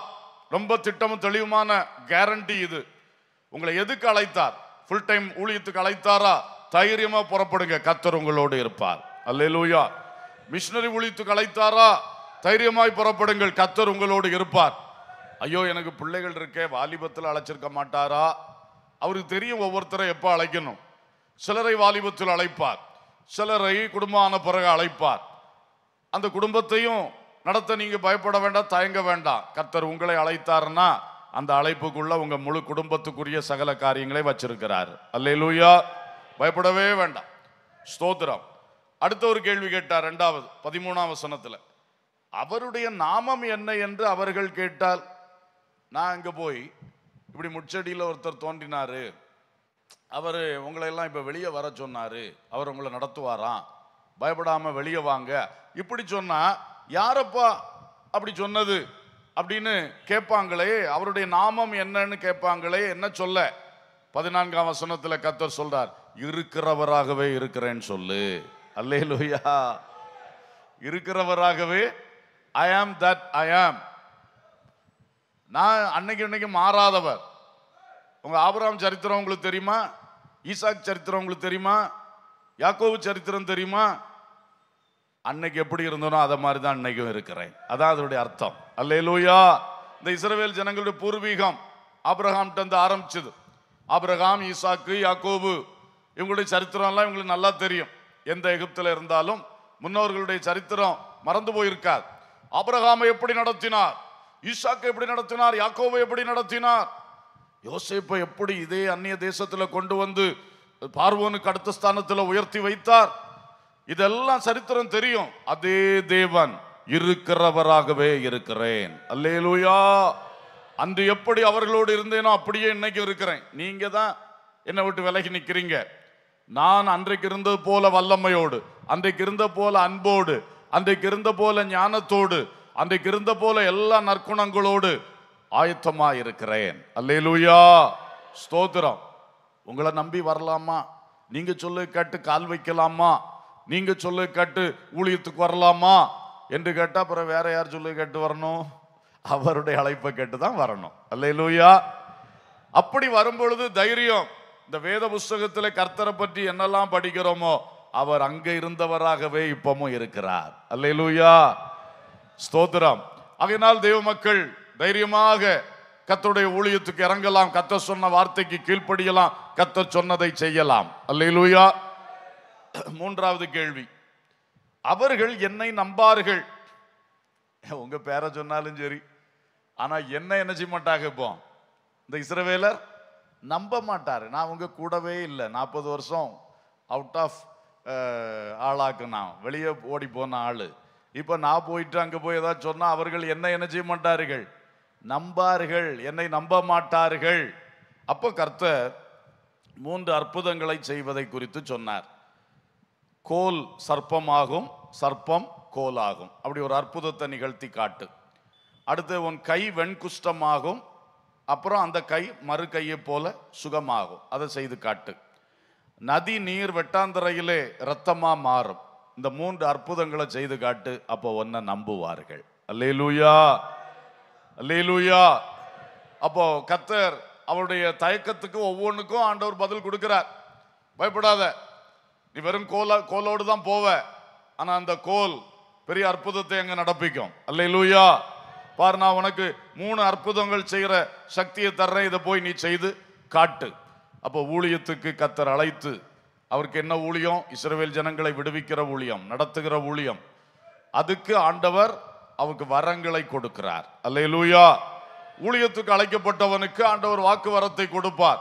வல்லமை வரங்களை கொடுப்பார். வெளிப்பாட்டு வரங்களை கொடுப்பார். அல்லேலூயா. அந்த ஊழியத்துக்கு என்னைக்கு அழைக்கப்பட்டு அர்ப்பணித்து உள்ள வர்றோமோ அப்போ ஆண்டவர் இதெல்லாம் தந்து கொண்டே இருப்பார். அதை கீழ்ப்படியாமல் போகிறவர்களுக்கு இது ஒன்று கிடைக்காது. ஆனால் ஊழியத்துக்கு வரும்பொழுது ஒருவேளை நம்ம இப்போ ஊழியர் பயிற்சி எல்லாம் இறையியல் கல்வி எல்லாம் போதிக்கிறோம் அது வேணும். அது முறைப்படி கற்றுக்கொள்ளணும் முறைப்படி பயிற்சி எடுக்கணும். ஆனாலும் அவைகள் எல்லாவற்றிற்கும் மேலாக கர்த்தர் அவரவரை அழைத்த ஊழிய அழைப்புக்கு ஏற்ற கிருபைகள் வரங்கள் வாக் வார்த்தைகள் எல்லாமே அவர் தருகிறார். ஒரு அல்லா சொல்லுவோம். கர்த்தர் உங்களை கொண்டு ஒருவேளை ஃபுல் டைம் அல்ல. நீ இந்த மிஷினரி ஊழியத்தில் ஒரு பகுதியை செய். ஒரு தர்ம ஊழியத்தில் ஒரு பகுதியை செய். எழுப்புதலுக்காக ஜோம் பண்ணுற ஊழியத்தில் நீ பங்கு பெறு. அல்லது சுவிசேஷம் அறிவிக்கிற பணியிலே நீ இறங்கு. பிள்ளைகளுக்கான ஊழியம் வாலிபர்களுக்கான ஊழியம் விதவைகளுக்கான ஊழியம் கட்டப்பட்டவர்களுக்கான ஊழியம் ஏதோ ஒன்று. இதில் போய் நீ வாரத்தில் ஒரு ரெண்டு மணி நேரம் செய்யணும். என்று சொன்னால் கூட நீங்கள் பயப்படாமல் தயங்காமல் அர்ப்பணிங்க. அவர் உங்களுக்கு வல்லமை வரங்களை தருவார். அல்லேலூயா. நீங்க கீழ்ப்படிந்து காலெடுத்து வைக்கும் பொழுது கர்த்தர் அங்கே கிரிய செய்வார். இதான் மூன்றாவது பதில். நாலாவது கேள்வி. நான் வாக்கு வல்லவன் அல்ல. நான் திக்குவாயும் மந்தனாவும் உள்ளவன். பத்தாம் வசனத்தில். மோசே சொன்னா திரும்ப திரும்ப கொஸ்டின் எழுப்பிட்டே இருக்கா. இப்போ சொல்றாரு நீர் அற்புதம்லாம் செய்ய காட்டி தர்றீரு ஓகே. ஆனால் எனக்கு வாயில் பேச வராது தெரியுமா? எனக்கு வாக்கு வல்லமை கிடையாது திக்கு திக்கி வரும் மந்த நாவு என்ன செய்ய?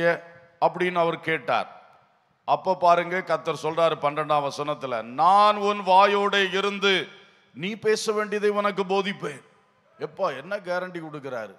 இப்போ திக்குவாயை பற்றி நீ யோசிக்காத நான் தானே உன்னை உண்டாக்குனேன். எனக்கு தெரியாதா? அந்த தண்ணியில் போக வேண்டியவன் உன்னை நான் மீட்டெடுத்து பார்வன் வீட்டில் கொண்டு வச்சு வளர்த்தி இதெல்லாம் செய்தனே உனக்கு திக்குவாயின்னு எனக்கு தெரியாதா? நான் உன் வாயோட இருப்பேன். உன்னோட இருப்பேன்னு யாருக்குன்னு சொல்லியாச்சு. இதுக்கு மேலே உனக்கு வாய் கொஞ்சம் குறை பலவீனமாக இருக்கனால நான் ஸ்பெஷலாக எங்கேயும் இருக்கலாம். உன் வாயிலையும் இருந்து உன்னோட என்ன செய்யலாம்? பேசலாம். இதுக்கு மேலே கேரண்டி வேணுமா? அல்லேலூயா. எனக்கு அறிவில்லை. உன் தலையில் நானே இருப்பேன். அறிவை தருவேன். அல்லேலூயா. எனக்கு பேச தெரில உன் வாயில் நானே இருப்பேன். பேசத்தான் செய்வேன். இதுக்கு பிறகு எல்லாம் கேள்வி மேலே கேள்வி கேட்டுட்டு ஐந்தாவது அவர் சொல்றது என்னன்னா ஆண்டவரே நீர் அனுப்ப சித்தமாக இருக்கிற யாரையாயிலும் அனுப்பு. என்னையா பதில் இது? நீ கேள்வி எல்லாம் கேட்டு அவர் ஒரு மனுஷனை போல உனக்கு அத்தனைக்கும் பதில் தந்து அப்புறம் நீ கட் அண்ட் ரைட்டாக மூஞ்சில அடித்த மாதிரி சொல்கிற நீர் ஆ அனுப்ப சித்தமாக இருக்கிற யாரையாயிலும் அனுப்பும். என்னையை விட்டுரும். ஆளை விடும். நீர் கேரண்டி எல்லாம் சரிதான் அற்புதம் எல்லாம் சரிதான். ஆனால் அதுக்கு அர்த்தம் என்ன? நான் போக மாட்டேன் அதை இன்னொரு விதத்தில் சொல்கிறான் நான் போக மாட்டேன் என்னை விட்டுரும். யாரையாயிலும் அனுப்போம். அப்போ கர்த்தருக்கு கோபம் வந்து. உனக்கு நான் முச்செடியில் இறங்கி இவ்வளோ மகிமையான தரிசனம் தந்து உன் கேள்வி ஒன்று ஒவ்வொன்றுக்கும் ஒரு மனுஷனை போல உன்கிட்ட நான் பதில் பேசிக்கிட்டு இருந்தா எல்லாம் கேட்டுட்டு நீ கடைசியில் இப்படி சொல்ற கோபம் உண்டவராகி ஆரோன் உனக்கு வாயாக இருப்பான். நீ அவனுக்கு தேவனாக இருப்பா. போ உனக்கு கூட ஒரு ஆளையும் தந்து விடுறேன்னு சொல்லி பதினாறாம் வசனத்திலே. கோபம் உண்டாலும் நீ போடா நான் வேற ஆளை பார்க்குறேன். அப்படி சொல்லலையே. கோபம் வந்தாலும் நீ போன ஆரோன் எடுத்து பயன்படுத்துறேன். சொல்லலையே. அவன் மேலே வச்சத அதான் அந்த கிருபைன்னு சொல்றது. அல்லையிலூயா இவன் பேசின சரியில்லை. ஆனாலும் ஒரு கிருப. சகோதரா சகோதரி எத்தனை தடவை கர்த்தர் உங்களில் சிலரோடு இடைப்பட்டு கொண்டே இருக்கிறார். ஒவ்வொரு புதிய ஊழியக்காரன் வந்து பேசினாலும் அவர் வாயினால உனக்கு அழைப்பு வருது. ஆ? எங்க பாஸ்டர் தெரிஞ்சு வச்சு தான் இப்படி பேசுவார். என்னை குறி வச்சு தான் பேசுறார். சரி இப்போ வேற பாஸ்டர் வந்தாலும் அதுதானே பேசுறார். அவர் எங்கிருந்து குறி எடுத்துட்டு வந்தார்? கத்தருக்கு ஸ்தோத்திரம். அப்போ தேவன் அவ்வளோ தூரம் உன்னை நேசிக்கிறதுனால உனக்கு அதை உறுதிப்படுத்த கன்ஃபார்ம் பண்ண பல ஊழியக்காரர்களை கொண்டு பேசுறார். அல்லேலூயா. வசனத்தை எடுத்தா அந்த வசனத்திலிருந்தும் பேசுறார். யாரோ கூட ஜபிச்சா அந்த ஜெபிக்கிற வார்த்தை வாயிலிருந்தும் அந்த வார்த்தை வருது. இப்படியெல்லாம் பேசி பேசி உன்னை ஆண்டவர் உறுதிப்படுத்துறார் தைரியப்படுத்துறார். இன்னும் தயங்கி தயங்கி கடைசியில் வேற ஆளை பாரும். வேற ஆளை பாரும்னா கோபம் தானே வரும். கத்தருக்கு ஸ்தோத்திரம். அங்கே ஆரோனை கூட கொடுத்து போன்னு சொன்னார். எப்படியும் தயங்கி தயங்கி இருந்தாலும் கடைசியிலே மனுஷன் புறப்பட்டான். நல்ல ஒரு கிரியை நடந்தது நமக்கு தெரியும். இஸ்ரவேலர்களை எகிப்திலிருந்து விடுதலை செய்தான். அல்லூயா பெரிய ஒரு அற்புதம் அது. பார்வோனை எதிர்த்து யார் நிற்க முடியும்? பார்வோனுடைய சேனையை எடுத்து நிற்க முடியுமா? அந்த காலத்திலே அவனுக்கு அவ்வளவு படைகளும் ஆயுத பலமும் இருந்தது. இவன் ஒரு கோலையும் கையில் எடுத்துட்டு போறான் அவனை எதுக்கிறதுக்கு. ஆனா வெறும் கோல் இல்லையா? கர்த்தர் இவனோடு இருந்தார். அல்லூயா அதான் ஊழியம். இன்றைக்கு ஒவ்வொரு கிராமங்கள் பட்டணங்கள் எப்படிப்பட்ட அரசியல் பலமும் அதிகார பலமும் மதவாதிகளுடைய பலமும் எல்லாம் நிறைந்திருக்கும் பொழுது உங்களை ஒரு மிஷினரியாக கர்த்தர் அழைத்து கொண்டு போனாருன்னா அவங்க பார்வையில் நீங்கள் சும்மா ஒரு கோல் ஊனி வர்ற ஒரு ஆள் மாதிரி தான் இருக்கும். ஐயோ பாவம் எங்கிருந்து பிழைக்க வந்திருக்கிறானோன்னு கூட நினைப்பாங்க. ஆனால் உன்னோடு கர்த்தர் இருக்கிறார். அல்லையிலூயா அந்த பார்வோனாகிய அந்தகார சக்திகளை வீழ்த்தி அடிமைப்பட்டிருக்கிற பாவக்கட்டில் இருக்கிற மக்களை போதைக்கட்டில் இருக்கிற மக்களை விடுதலையாக்கும்படி உன்னை கர்த்தர் அழைக்கிறார். அல்லேலூயா. மோசே போனார் விடுவித்தார். அப்புறம் அந்த ஜனங்களை வெளியே கொண்டு வந்து நியாயப்பிரமாணத்தை கொடுத்தார். தேவனிடத்திலிருந்து பெற்ற நியாயப்பிரமாணத்தை கொடுத்தார். அப்புறம் அந்த மக்களுக்கு ஆசரிப்பு கூடாரம் என்கிற அமைப்பு அந்த இதை உருவாக்கி கொடுத்து நல்ல ஆராதனை. தேவன் விரும்புகிற சிறப்பான ஆராதனைக்கு வழிவகுத்தார். நாற்பது ஆண்டுகள் இந்த மக்களை நடத்தினார். அல்லேலூயா நீண்ட நாற்பது ஆண்டுகள் இந்த மக்களை நடத்தினார். அப்புறம் அவருக்கு பிறகு ஒரு யோசுவாவையும் எழுப்பி வைத்து விட்டு போனார். ஆமேன். நிறைவான ஊழியம் வெற்றியான ஊழியம் ஆசீர்வாதமான ஊழியம். தேவ திட்டம் மோசை மூலம் நிறைவேறினது. அல்லேலூயா. குறைவில்லாத ஊழியம் செய்தார். இன்றைக்கு உங்களையும் சிலரை அதற்காகவே கத்தர் அழைக்கிறார். பாவ அடிமைத்தனத்தில் கிடக்கிற என் ஜனங்களை விடுதலையாக்க நற்செய்தி அறிவிக்க மகனே புறப்படு மகளை புறப்படு என்று கத்தர் அழைக்கிறார். அல்லேலூயா. அந்த ஜனங்களுக்கு என் உபதேசத்தை கற்றுக் கொடுக்க நீ புறப்படு. அறியாமையினால் என் ஜனம் சங்காரமாகி கொண்டிருக்கிறார்கள். உன்னை அந்த ஜனங்களுக்கு உபதேசிக்கும்படி தெரிந்து கொண்டிருக்கிறேன். ஆசரிப்பு கூடாரத்தை மோசை கொடுத்தது போல ஆராதிக்க ஒரு ஒன்று கூட சபை கூட இடமில்லாமல் சபை கூட வாய்ப்பில்லாமல் இருக்கிற ஒவ்வொரு கூட்டம் மக்களுக்கு சபைகளை எழுப்ப உன்னை நான் அனுப்புகிறேன் என்று கர்த்தர் உன்னை அழைக்கிறார். யோசுவாக்களை எழுப்ப புதிய புதிய ஊழியர்களை எழுப்ப கர்த்தர் உன்னை தெரிந்து கொண்டிருக்கிறார். அல்லேலூயா. ஆகவே தேவ மக்களே மோசையை கர்த்தர் அழைத்தார். ஆரம்பத்தில் தயங்கினார். ஆனால் புறப்பட்டு போன பொழுது கர்த்தர் பெரிய காரியங்களை செய்தார். அல்லேலூயா. இன்றைக்கு ஒருவேளை இது மாதிரி தயக்கத்தோடு இருக்கீங்களா? யோனாவை மாதிரி துணிகரமாக நீங்கள் செயல்படலை. ஆனால் நீங்கள் வந்து இப்படி தங்கி தங்கி கேள்வி மேலே கேள்வி கேட்டுகிட்டே இருக்கீங்க. எத்தனை கேள்வி? எத்தனை வருஷமாக கேட்டுட்டு இருக்கீங்க? கத்தர் கோபம் வரும். அதனால நீ கேள்வி மேலே கேள்வி கேட்கறதை நிறுத்தி விட்டு உன்னுடைய மன தயக்கத்தை எல்லாம் ஆண்டவர் பாதத்தில் ஒப்பு கொடுத்து வருகிறேன் ஐயா நடத்தும் ஐயா.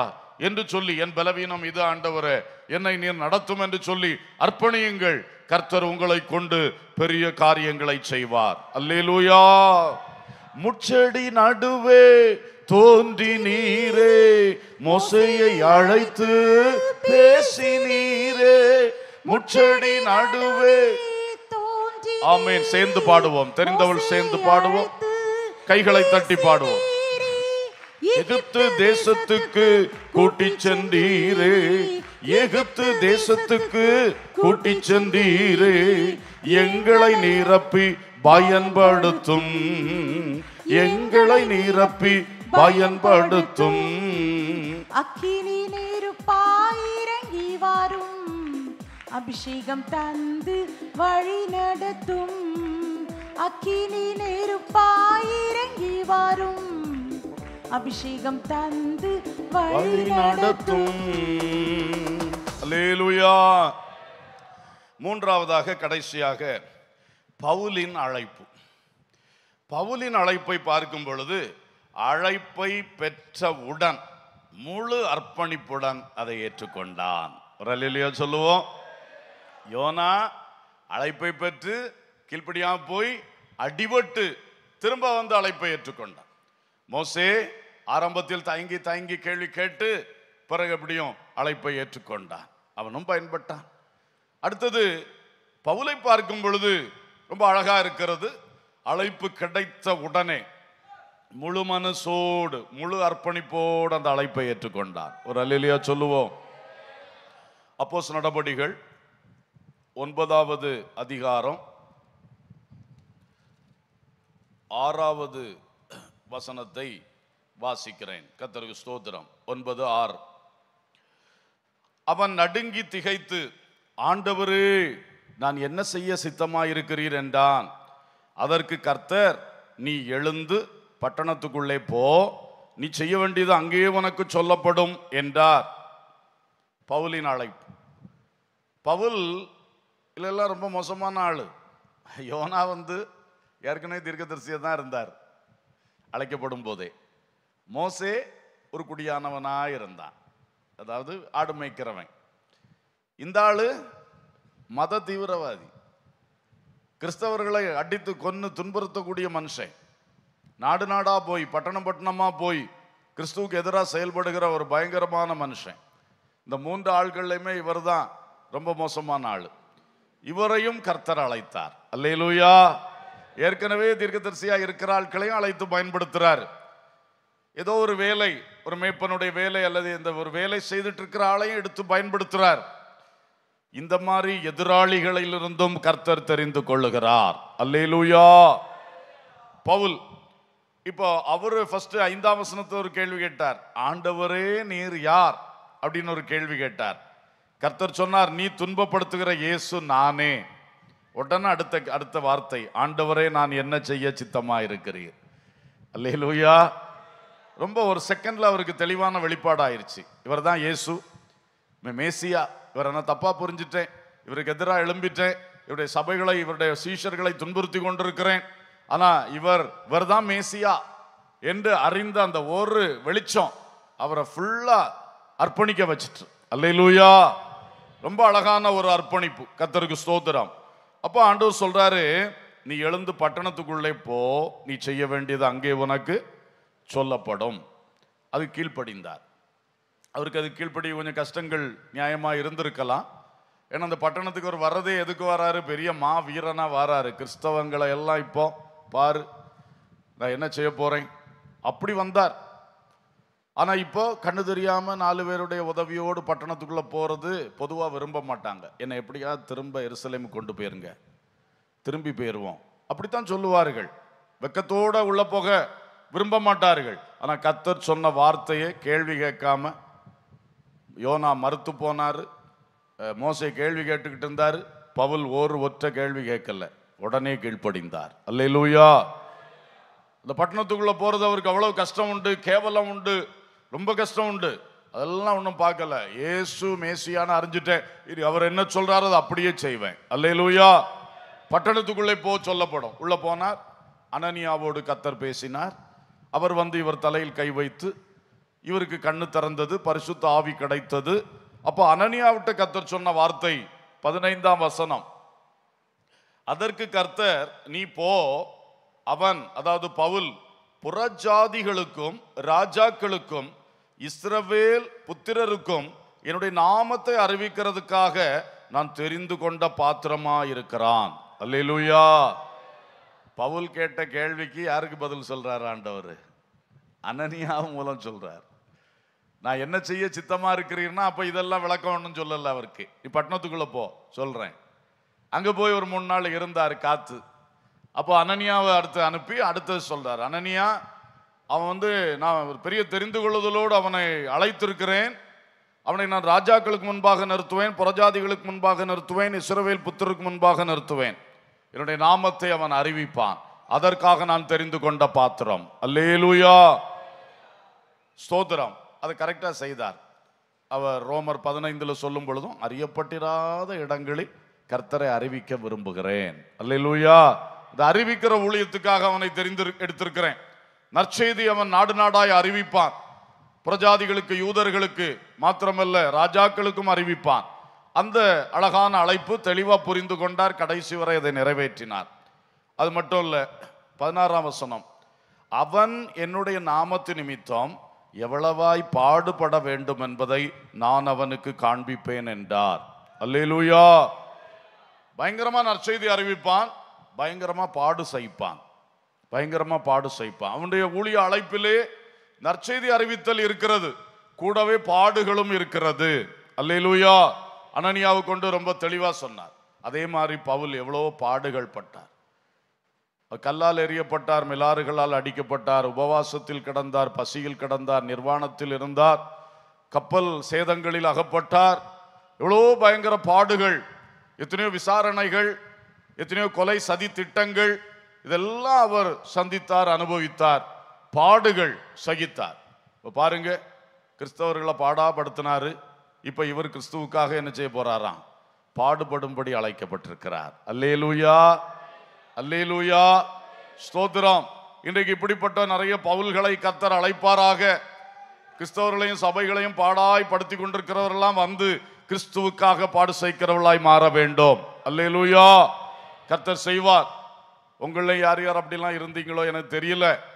நீங்க கத்தர் அழைக்கும் பொழுது தைரியமாய் வாருங்கள். கர்த்தருக்காக ஊழியம் செய்யவும் கர்த்தருக்காக எந்த பாடுகளையும் சகிக்கவும் நான் ஆயத்தம் சொல்லி ஆண்டவரே நான் என்ன செய்ய நீர் சித்தமாக இருக்கிறீர்? அல்லேலூயா.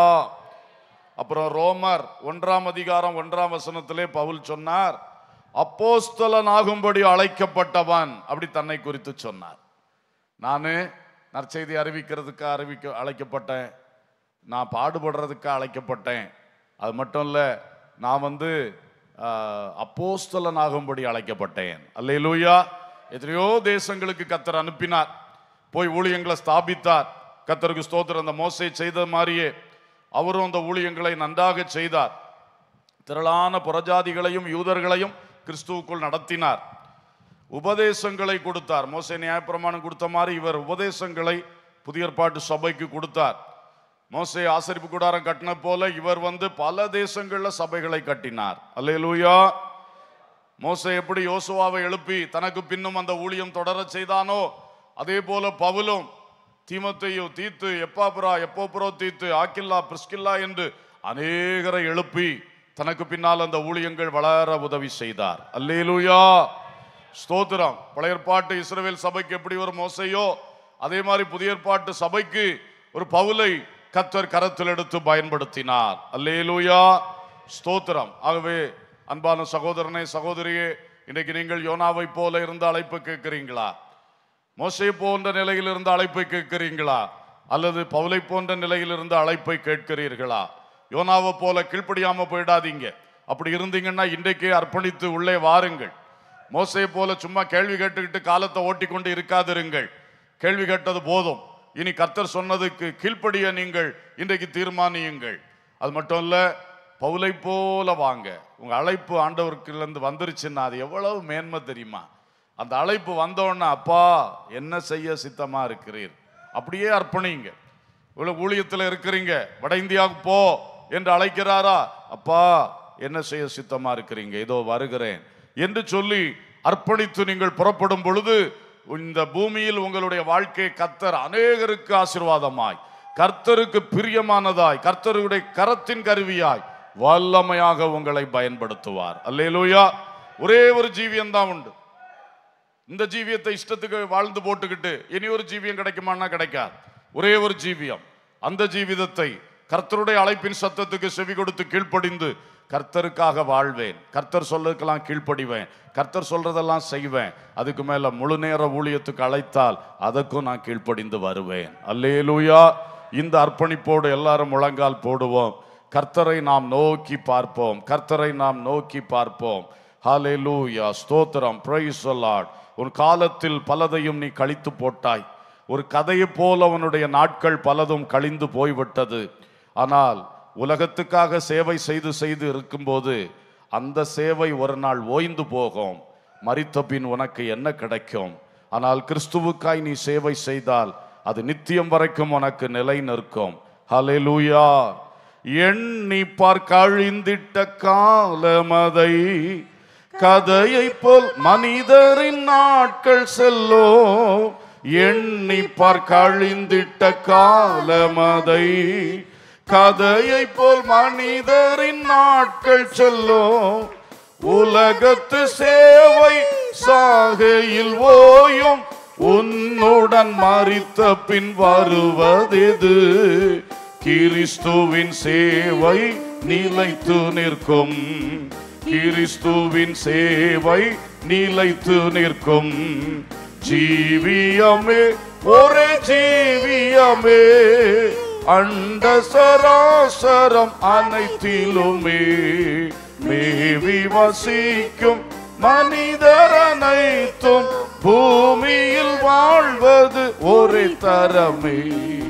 ஜீவியமே ஒரே ஜீவியமே. அர்ப்பணம் தந்தையை கையளித்து கல்வி செல்வம் சுகம் பொருள் அனைத்தும் சொல்லுங்க. அர்ப்பணம் தந்தையை கையளித்து கல்வி செல்வம் சுகம் பொருள் அனைத்தும் செல்லுவேன் சொல்லுவேன் இயேசுவே வழி என்ன? வாழ்க்கையில் தம்மையை கொண்டு வாழ்வேன். என்றுமே அங்கே நான் உம்மில் வாழ்வேன். என்றுமே அங்கே நான் உம்மில் வாழ்வேன். ஜீவியமே ஒரே ஜீவியமே அண்ட சராசரம் அனைத்திலுமே. சகோதரா சகோதரி ஒரே ஒரு ஜீவியம் கத்தர் தந்திருக்கிறார். உலக சேவை மரணத்தோடு முடிந்து போகும். ஆனால் கர்த்தரின் சேவையோ நித்தியம் வரைக்கும் நிலைத்து நிற்கும். அவர் உன்னிடம் எதை எதிர்பார்க்கிறார்? கர்த்தரிடத்தில் உன்னை முழுவதும் பவுலை போல அர்ப்பணம் செய். நான் என்ன செய்ய சித்தமாய் இருக்கிறேன் பவுல் தன் கல்வியை செல்வத்தை சுகத்தை பொருளை எல்லாம் அர்ப்பணித்து நீர் சொல்லும் இடம் செல்லுவேன். நீர் சொல்ல சொல்லுவதை சொல்லுவேன் என்று அர்ப்பணித்து முன்னே போன பொழுது வெற்றிமயமான வாழ்க்கை வாழ்ந்தான். தேசங்களுக்கு பயன்பட்டான். கத்தோடைய ராஜ்யத்தை கட்டி எழுப்பினான். நீதியின் கிரீடம் எனக்காய் வைக்கப்பட்டது என்று தைரியத்தோடு சொல்லி ஓட்டத்தை முடித்தான். இன்றைக்கு சகோதரா சகோதரி உனக்கு முன்னே இருக்கிற அந்த எஞ்சிய வாழ்க்கை நாட்களை நீ எப்படி செலவு பண்ண போகிறாய்? கர்த்தருடைய ஆவியான உன்னோடு எதை பேசிக் கொண்டிருக்கிறார்? என்ன அழைப்பை உனக்கு கொடுத்து கொண்டிருக்கிறார்? சிந்திப்பாயாக செயல்படுவாயாக கர்த்தருக்கு ஒரு நல்ல பதிலை பவுல் சொன்னது போல சொல்வாயாக. ஹalleluya praise the lord praise the lord. அப்படியே ஜோம் பண்ணி கொண்டிருக்கும் பொழுது ஆமென் கர்த்தர் என்னோடு பேசி கொண்டிருக்கிறார் என்று சொல்லுகிறவர்கள் வலது கரத்தை உயர்த்தி நீங்கள் கர்த்தருக்கு நல்ல பதிலை இப்பொழுது சொல்லுவீர்களாக. எல்லாரும் வாய் திறந்து ஜபித்து கொண்டிருக்க அன்போடு கேட்கிறேன். வேடிக்கை பார்த்து கொண்டிருக்கிறவளா இருக்கக்கூடாது. நல்ல வாய் திறந்து சத்தமா ஜபக்குழு தலைவர்கள் தலைவிகள் எல்லாரும் நல்ல சத்தமா ஜோம் பண்ணுங்க. ஹாலே லூ ஊழியக்காரர்கள் சத்தமா ஜோம் பண்ணுங்க. பிரைஸ்ல எல்லாம் பாரத்தோடு ஜோம் பண்ணுங்க. இந்த ஜெபிக்கிற வேளையிலே என்னோடு கர்த்தர் பேசினார். இன்ன காரியத்தை செய்யும்படி சொல்லுகிறார். நான் அதை செய்ய தீர்மானிக்கிறேன் சொல்லி ஆமேன். ஒரு சாட்சியாக வலது கரத்தை உயர்த்தி நீங்க தனிமையில கர்த்தரோட அந்த காரியத்தை பேசுங்க. ஹலே லூயா இந்த வசனத்துக்கு என்னை கீழ்ப்படியும்படி கர்த்தர் ஏவி கொண்டிருக்கிறார் சில காலமா அதுக்கு கீழ்ப்படியாம இருந்தேன். இன்றைக்கு நான் கீழ்ப்படிய தீர்மானித்திருக்கிறேன். வலது கரத்தை உயர்த்தி ஆமேன். உங்கள் அந்தரங்கத்திலிருந்து கர்த்தரை நோக்கி அந்த காரியத்தை பேசுவீர்களாக. ஹலே லூயா கர்த்தர் என்னை முழு நேர சேவைக்காக அழைக்கிறார். ஆமேன். பல காலம் இந்த அழைப்பை நான் ஏனோ தான் ஒன்று விட்டுட்டேன். இன்றைக்கு கர்த்தர் திட்டமாய் பேசினார். நான் கத்தோடைய அழைப்புக்கு செவி கொடுக்கிறேன் சொல்லி அவர்களும் வலது கரத்தை உயர்த்தி. ஆமேன். ஒரு சாட்சியாக உங்கள் வலது கரத்தை உயர்த்தி. அப்படியே பேசுங்க. உங்கள் அந்தரங்கத்திலிருந்து கத்தரை நோக்கி பேசுங்க. என்னை முழு நேர ஊழியத்துக்கு அழைக்கிறார். மிஷினரி ஊழியத்துக்கு அழைக்கிறார். ஆமேன். வலது கரத்தை உயர்த்தி. கர்த்தரிடத்திலே ஆண்டவரே நான் என்ன செய்ய சித்தமாக இருக்கிறேன் இதோ அடியேன் இருக்கிறேன் என்னை அனுப்பும். ஆண்டவரே சொல்லும் அடியேன் கேட்கிறேன். கத்தாவே சொல்லும் அடியேன் கேட்கிறேன். இந்த நல்ல வார்த்தைகளால் அர்ப்பணிப்பீர்களாக. ஆமேன். உயர்ந்திருக்கிற கைகளுக்காய் நான் ஜெபிக்க விரும்புகிறேன். அன்பு பிதாவே கரம் உயர்த்தி தீர்மானத்தை உம்மிடத்தில் பேசி கொண்டிருக்கிற தாசர்களை இப்பொழுது நீர் சந்திப்பீராக தகப்பனே. அவளுடைய வலது கரத்தை உமது வலது கரத்தினால் பிடித்துக்கொண்டு அவள் தீர்மானிக்கிற அந்த காரியத்திலே நீர் அழைத்த விஷயத்திலே நீர் அவர்களுக்கு கட்டளையிட்ட அந்த காரியத்திலே அவள் ஜெயமாய் செயல்படுவதற்காக அன்பு தகப்பனே இன்று முதல் அவளை கரம் பிடித்து நடத்துவீராக ராஜா. ஆசீர்வதி அதற்குரிய ஞானத்தை அதற்குரிய அபிஷேகத்தை அதற்குரிய கிருபையை அதற்குரிய சரியான வழிகாட்டுதல்களை தைரியத்தை பலனை அர்ப்பணிப்பை இன்னும் அவர்களிலே பெருக பண்ண நாங்கள் ஜெபிக்கிறோம். கத்தர் கரம் பிடித்து நடத்தும். இயேசுவின் நாமத்தில் பிதாவே ஆமேன். எல்லாரும் மறுபடியும் கரங்களை தட்டி கர்த்தருக்கு நல்லா ஸ்தோத்திரம் செலுத்துவோம். ஸ்தோத்திரம் செலுத்துவோம் ஸ்தோத்திரம் செலுத்துவோம். ஆமேன். சத்தம் உயர்த்தி ஜெப வீரர்கள் ஏன் சத்தம் வருகிறதில்ல? நல்ல வாய் திறந்து சத்தமா ஸ்தோத்திரம் பண்ணுங்க. எல்லாரும் ஸ்தோத்தரித்து கொண்டிருக்கும் பொழுது ஒரு காரியத்துக்கு கூட அர்ப்பணிக்க கேட்கிறேன். இந்த வட இந்திய மிஷினரி ஊழியங்களுக்காக நானும் வாரத்தில் ஒரு மணி நேரம் ஜெபிக்க தீர்மானிக்கிறேன். இது வரைக்கும் நான் ஜெபிக்கிறேன் ஆனால் இப்படி ஒரு ஒரு மணி நேரம் திட்டமிட்டு ஜெபிக்கலை. இப்போ ஒரு தீர்மானத்துக்குள்ள வர்றேன். நான் தனியா ஜெபிக்க அல்லது ஒரு குழுவில் சேர்ந்து ஜெபிக்க போறேன் அல்லது ஒரு குழுவை ஆரம்பிக்க போறேன். அது உங்க இஷ்டம். ஆனால் நான் வாரத்தில் ஒரு மணி நேரம் ஜெபிப்பேன். அப்படி நினைக்கிறவர்கள் வலது கரத்தை நீங்கள் இருக்கிற இடத்துல உயர்த்தி நீங்களும் அதை குறித்து கர்த்தரோடு தெளிவாக பேசுங்க.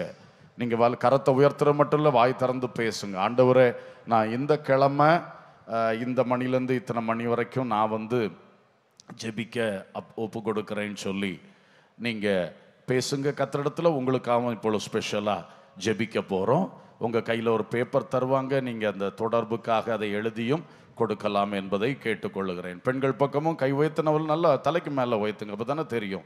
ப்ரைஸ் த லார்ட் ஹாலே லூயா ஸ்தோத்திரம். எல்லாம் சேர்ந்து ஜோம் பண்ணும் எங்கள் பிதாவே கரம் உயர்த்தி நிற்கிற சகோதரர்களுக்காய் சகோதரிக்காய் ஸ்தோத்திரம்.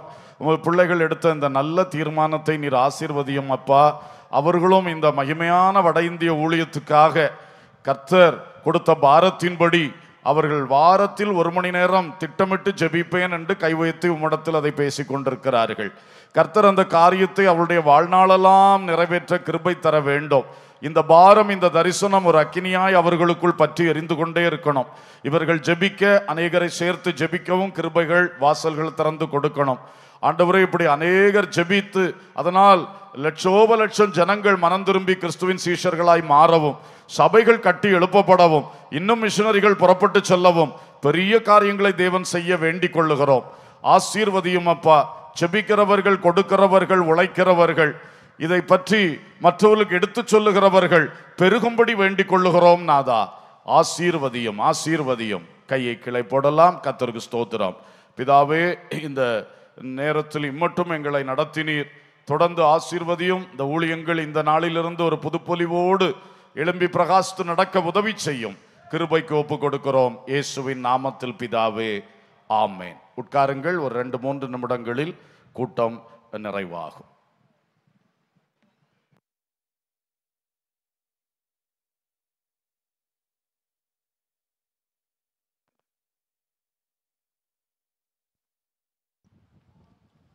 ஹலேலுயா அன்பானவர்களே இப்போதும் கடமலை குன்று எஃப்ஜிஎம் சேர்மன் பிரதரே ஆரோன் ஜெபசீலன் அவர்கள் வந்து நன்றியுரை வழங்குவார்கள்.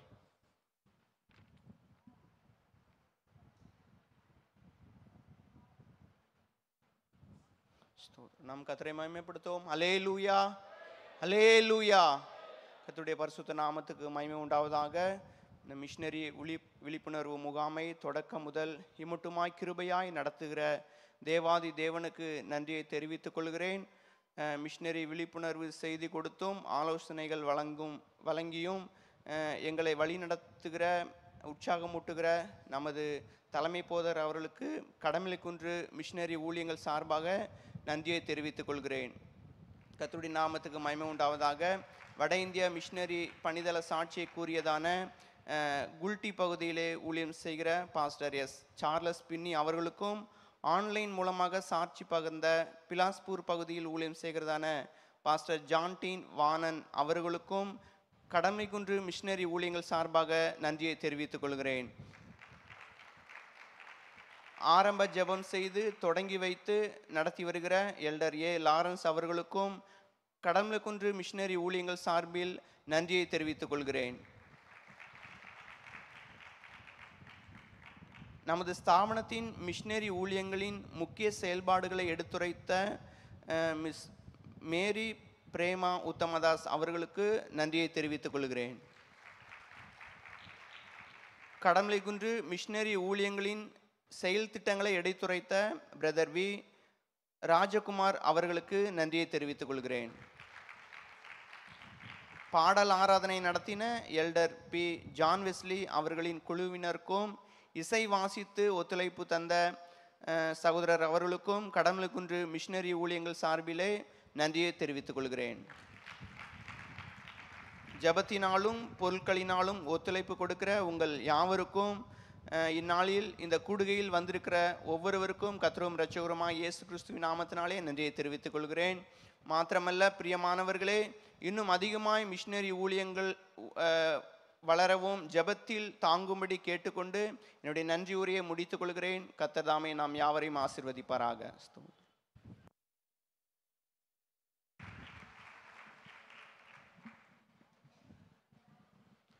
அலே லுய்யா நன்றி உரை வழங்கிய பிரதர் ஏ. ஆரோன் அவர்களுக்கு நன்றி. அன்பானவர்களே இப்போதும் நம்முடைய தலைமை போதுகிறவர்கள் நமக்கு இறுதி ஜெபம் செய்து ஆசீர்வாதம் கூறுவார்கள்.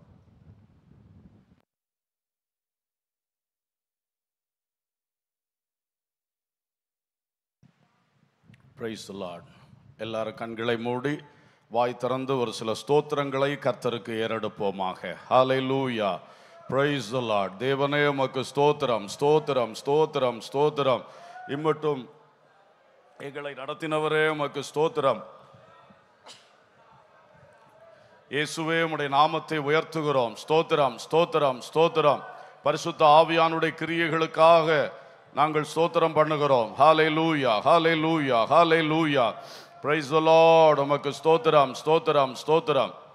அன்புள்ள பிதாவே நல்ல தகப்பனே இந்த நாளிலே இப்படிப்பட்ட ஒரு அருமையான மிஷனரி விழிப்புணர்வு கூட்டத்தை எங்கள் சபைக்குள்ளே தந்ததற்காய் ஸ்தோத்திரம். பங்கு பெற்ற எல்லா மக்களை ஆசிர்வதியும் இந்த மிஷினரி தரிசனம் பாரம். கர்த்தர் இன்னும் அவர்களுக்குள் மங்கிய மங்காத அக்கினியாக எரிந்து பிரகாசிக்க உதவி செய்யும். இந்த சபையிலே ஜெபங்களை நடத்துகிற ஜெபக்குழு தலைவர் தலைவிகளுக்காய் ஸ்தோத்திரம் பங்கு பெற்று ஜபிக்கிறவர்களுக்காய் ஸ்தோத்திரம். எல்லார் குடும்பங்களையும் ஆசீர்வதியும் வாழ்க்கைகள் அவருடைய ஊழிய பகுதிகள் எல்லாவற்றையும் ஆசீர்வதியும். அப்படியே இந்த சபைக்குள் செயல்படுகிற இந்த குழுவினருக்காக ஜெபிக்கிறோம். இந்த ஏழு பேரையும் ஆசீர்வதித்து இன்னும் வருமானதுனாலும் இன்னும் இந்த தரிசனத்தினாலும் நிரப்பி வல்லமையாய் பயன்படுத்த ஜெபிக்கிறோம். ஸ்தாபனத்தில் செயல்படுகிற எஃப்ஜிஎம்எம் போர்டுக்காக ஸ்தோத்திரம். அந்த ஏழு பேரையும் நீர் ஆசிர்வதித்து வல்லமையாய் பயன்படுத்த ஜெபிக்கிறோம். அருமையான மிஸ்ஸஸ் எஸ்தர் மனோன்மணி அவர்களை நினைத்து ஜெபிக்கிறோம். அவர்களுக்கு சரித்துக்கிற எல்லா பலவீனங்களை நீக்கி புதுபலன் கொடும். ஆண்டவரே அந்த குடும்பம் இன்னும் கர்த்தருக்காக இந்த மிஷினரி பணியிலே முன்னிற்கத்தக்கதாக அவர்களுக்கு இந்த வியாதி போராட்டங்கள் பலவீனங்கள் கஷ்டங்கள் எல்லாம் மாற்றி பூர்ண சுகம் கொடுத்து நடத்த பயன்படுத்த ஜெபிக்கிறோம். வந்திருக்கிற எல்லாரையும் ஆசீர்வதியும் அப்பா. கர்த்தருடைய கிருபை பெருகட்டும் அப்பா. மிஷினரி ஊழியங்களுக்காய் ஜபிக்கிறவர்களை ஆசீர்வதியும். பல்வேறு நிலைகளில் கொடுக்கிற ஒவ்வொருவரையும் நினைத்தருளி. ஆசீர்வதிப்பீராக. மிஷினரிகளை நினைக்கிறோம். ஒவ்வொரு மிஷினரிகளை ஆசீர்வதியும். பாஸ்டர் சார்ல்ஸ் பின்னி குடும்பத்தை ஆசீர்வதித்து வல்லமையாய் பயன்படுத்தும். Pastor John D. வாணன் குடும்பத்தை ஆசீர்வதித்து வல்லமையாய் பயன்படுத்தும். பிலாஸ்பூர்லே சீக்கிரம் சொந்த இடம் கட்டடம் தந்து ஊழியத்தை ஸ்தாபித்து தாரும். பெரிய காரியங்களை ஒவ்வொரு மிஷினரி ஊழிய களங்களிலும் கர்த்தர் செய்யும்படியாய் வேண்டிக் கொள்ளுகிறோம் ஆசீர்வதிப்பீராக. இப்பொழுதும் வைக்கப்பட்டிருக்கிற அன்பின் விருந்தையும் ஆசீர்வாதமும் அந்யோன்ய பக்தி விருத்திக்கு எதுவாகவும் சகோதர சிநேகம் வளரவும் ஊழியங்கள் மேன்மையடையவும் ஆசீர்வதித்து தரும்படி ஜெபிக்கிறோம். இவைகளினால் வருகிற சகல துதி கனம் மகிமை உமக்கே நாங்கள் ஏறெடுக்கின்றோம். இயேசுவின் நாமத்தில் கேட்கிறோம் ஜீவனுள்ள பிதாவே ஆமேன். என் ஆத்துமாவே கத்தரை ஸ்தோத்திரி. என் முழு உள்ளமே அவருடைய பரிசுத்த நாமத்தை ஸ்தோத்திரி. என் ஆத்துமாவே கத்தரை ஸ்தோத்திரி. அவர் செய்த சகல உபகாரங்களை மறவாதே. ஆமேன். நம்முடைய கத்தராகிய இயேசு கிறிஸ்துவின் கிருபையும் பிதாவாகிய தேவனுடைய அன்பும் பரிசுத்தாவியானுடைய ஐக்கியமும் சிநேகமும் வழிநடத்துதலும் பாதுகாவலும் நம் அனைவரோடும் மிஷினரிகளோடும் மிஷினரிகளுக்காய் ஜெபிக்கிறவர்களோடும் கிரிய செய்கிற யாவரோடும் தொடர்ந்து நிலைத்திருப்பதாக ஆமேன். அல்லேலூயா. அல்லேலூயா. அல்லேலூயா. கர்த்தர் யாவரையும் ஆசிர்வதிப்பார்.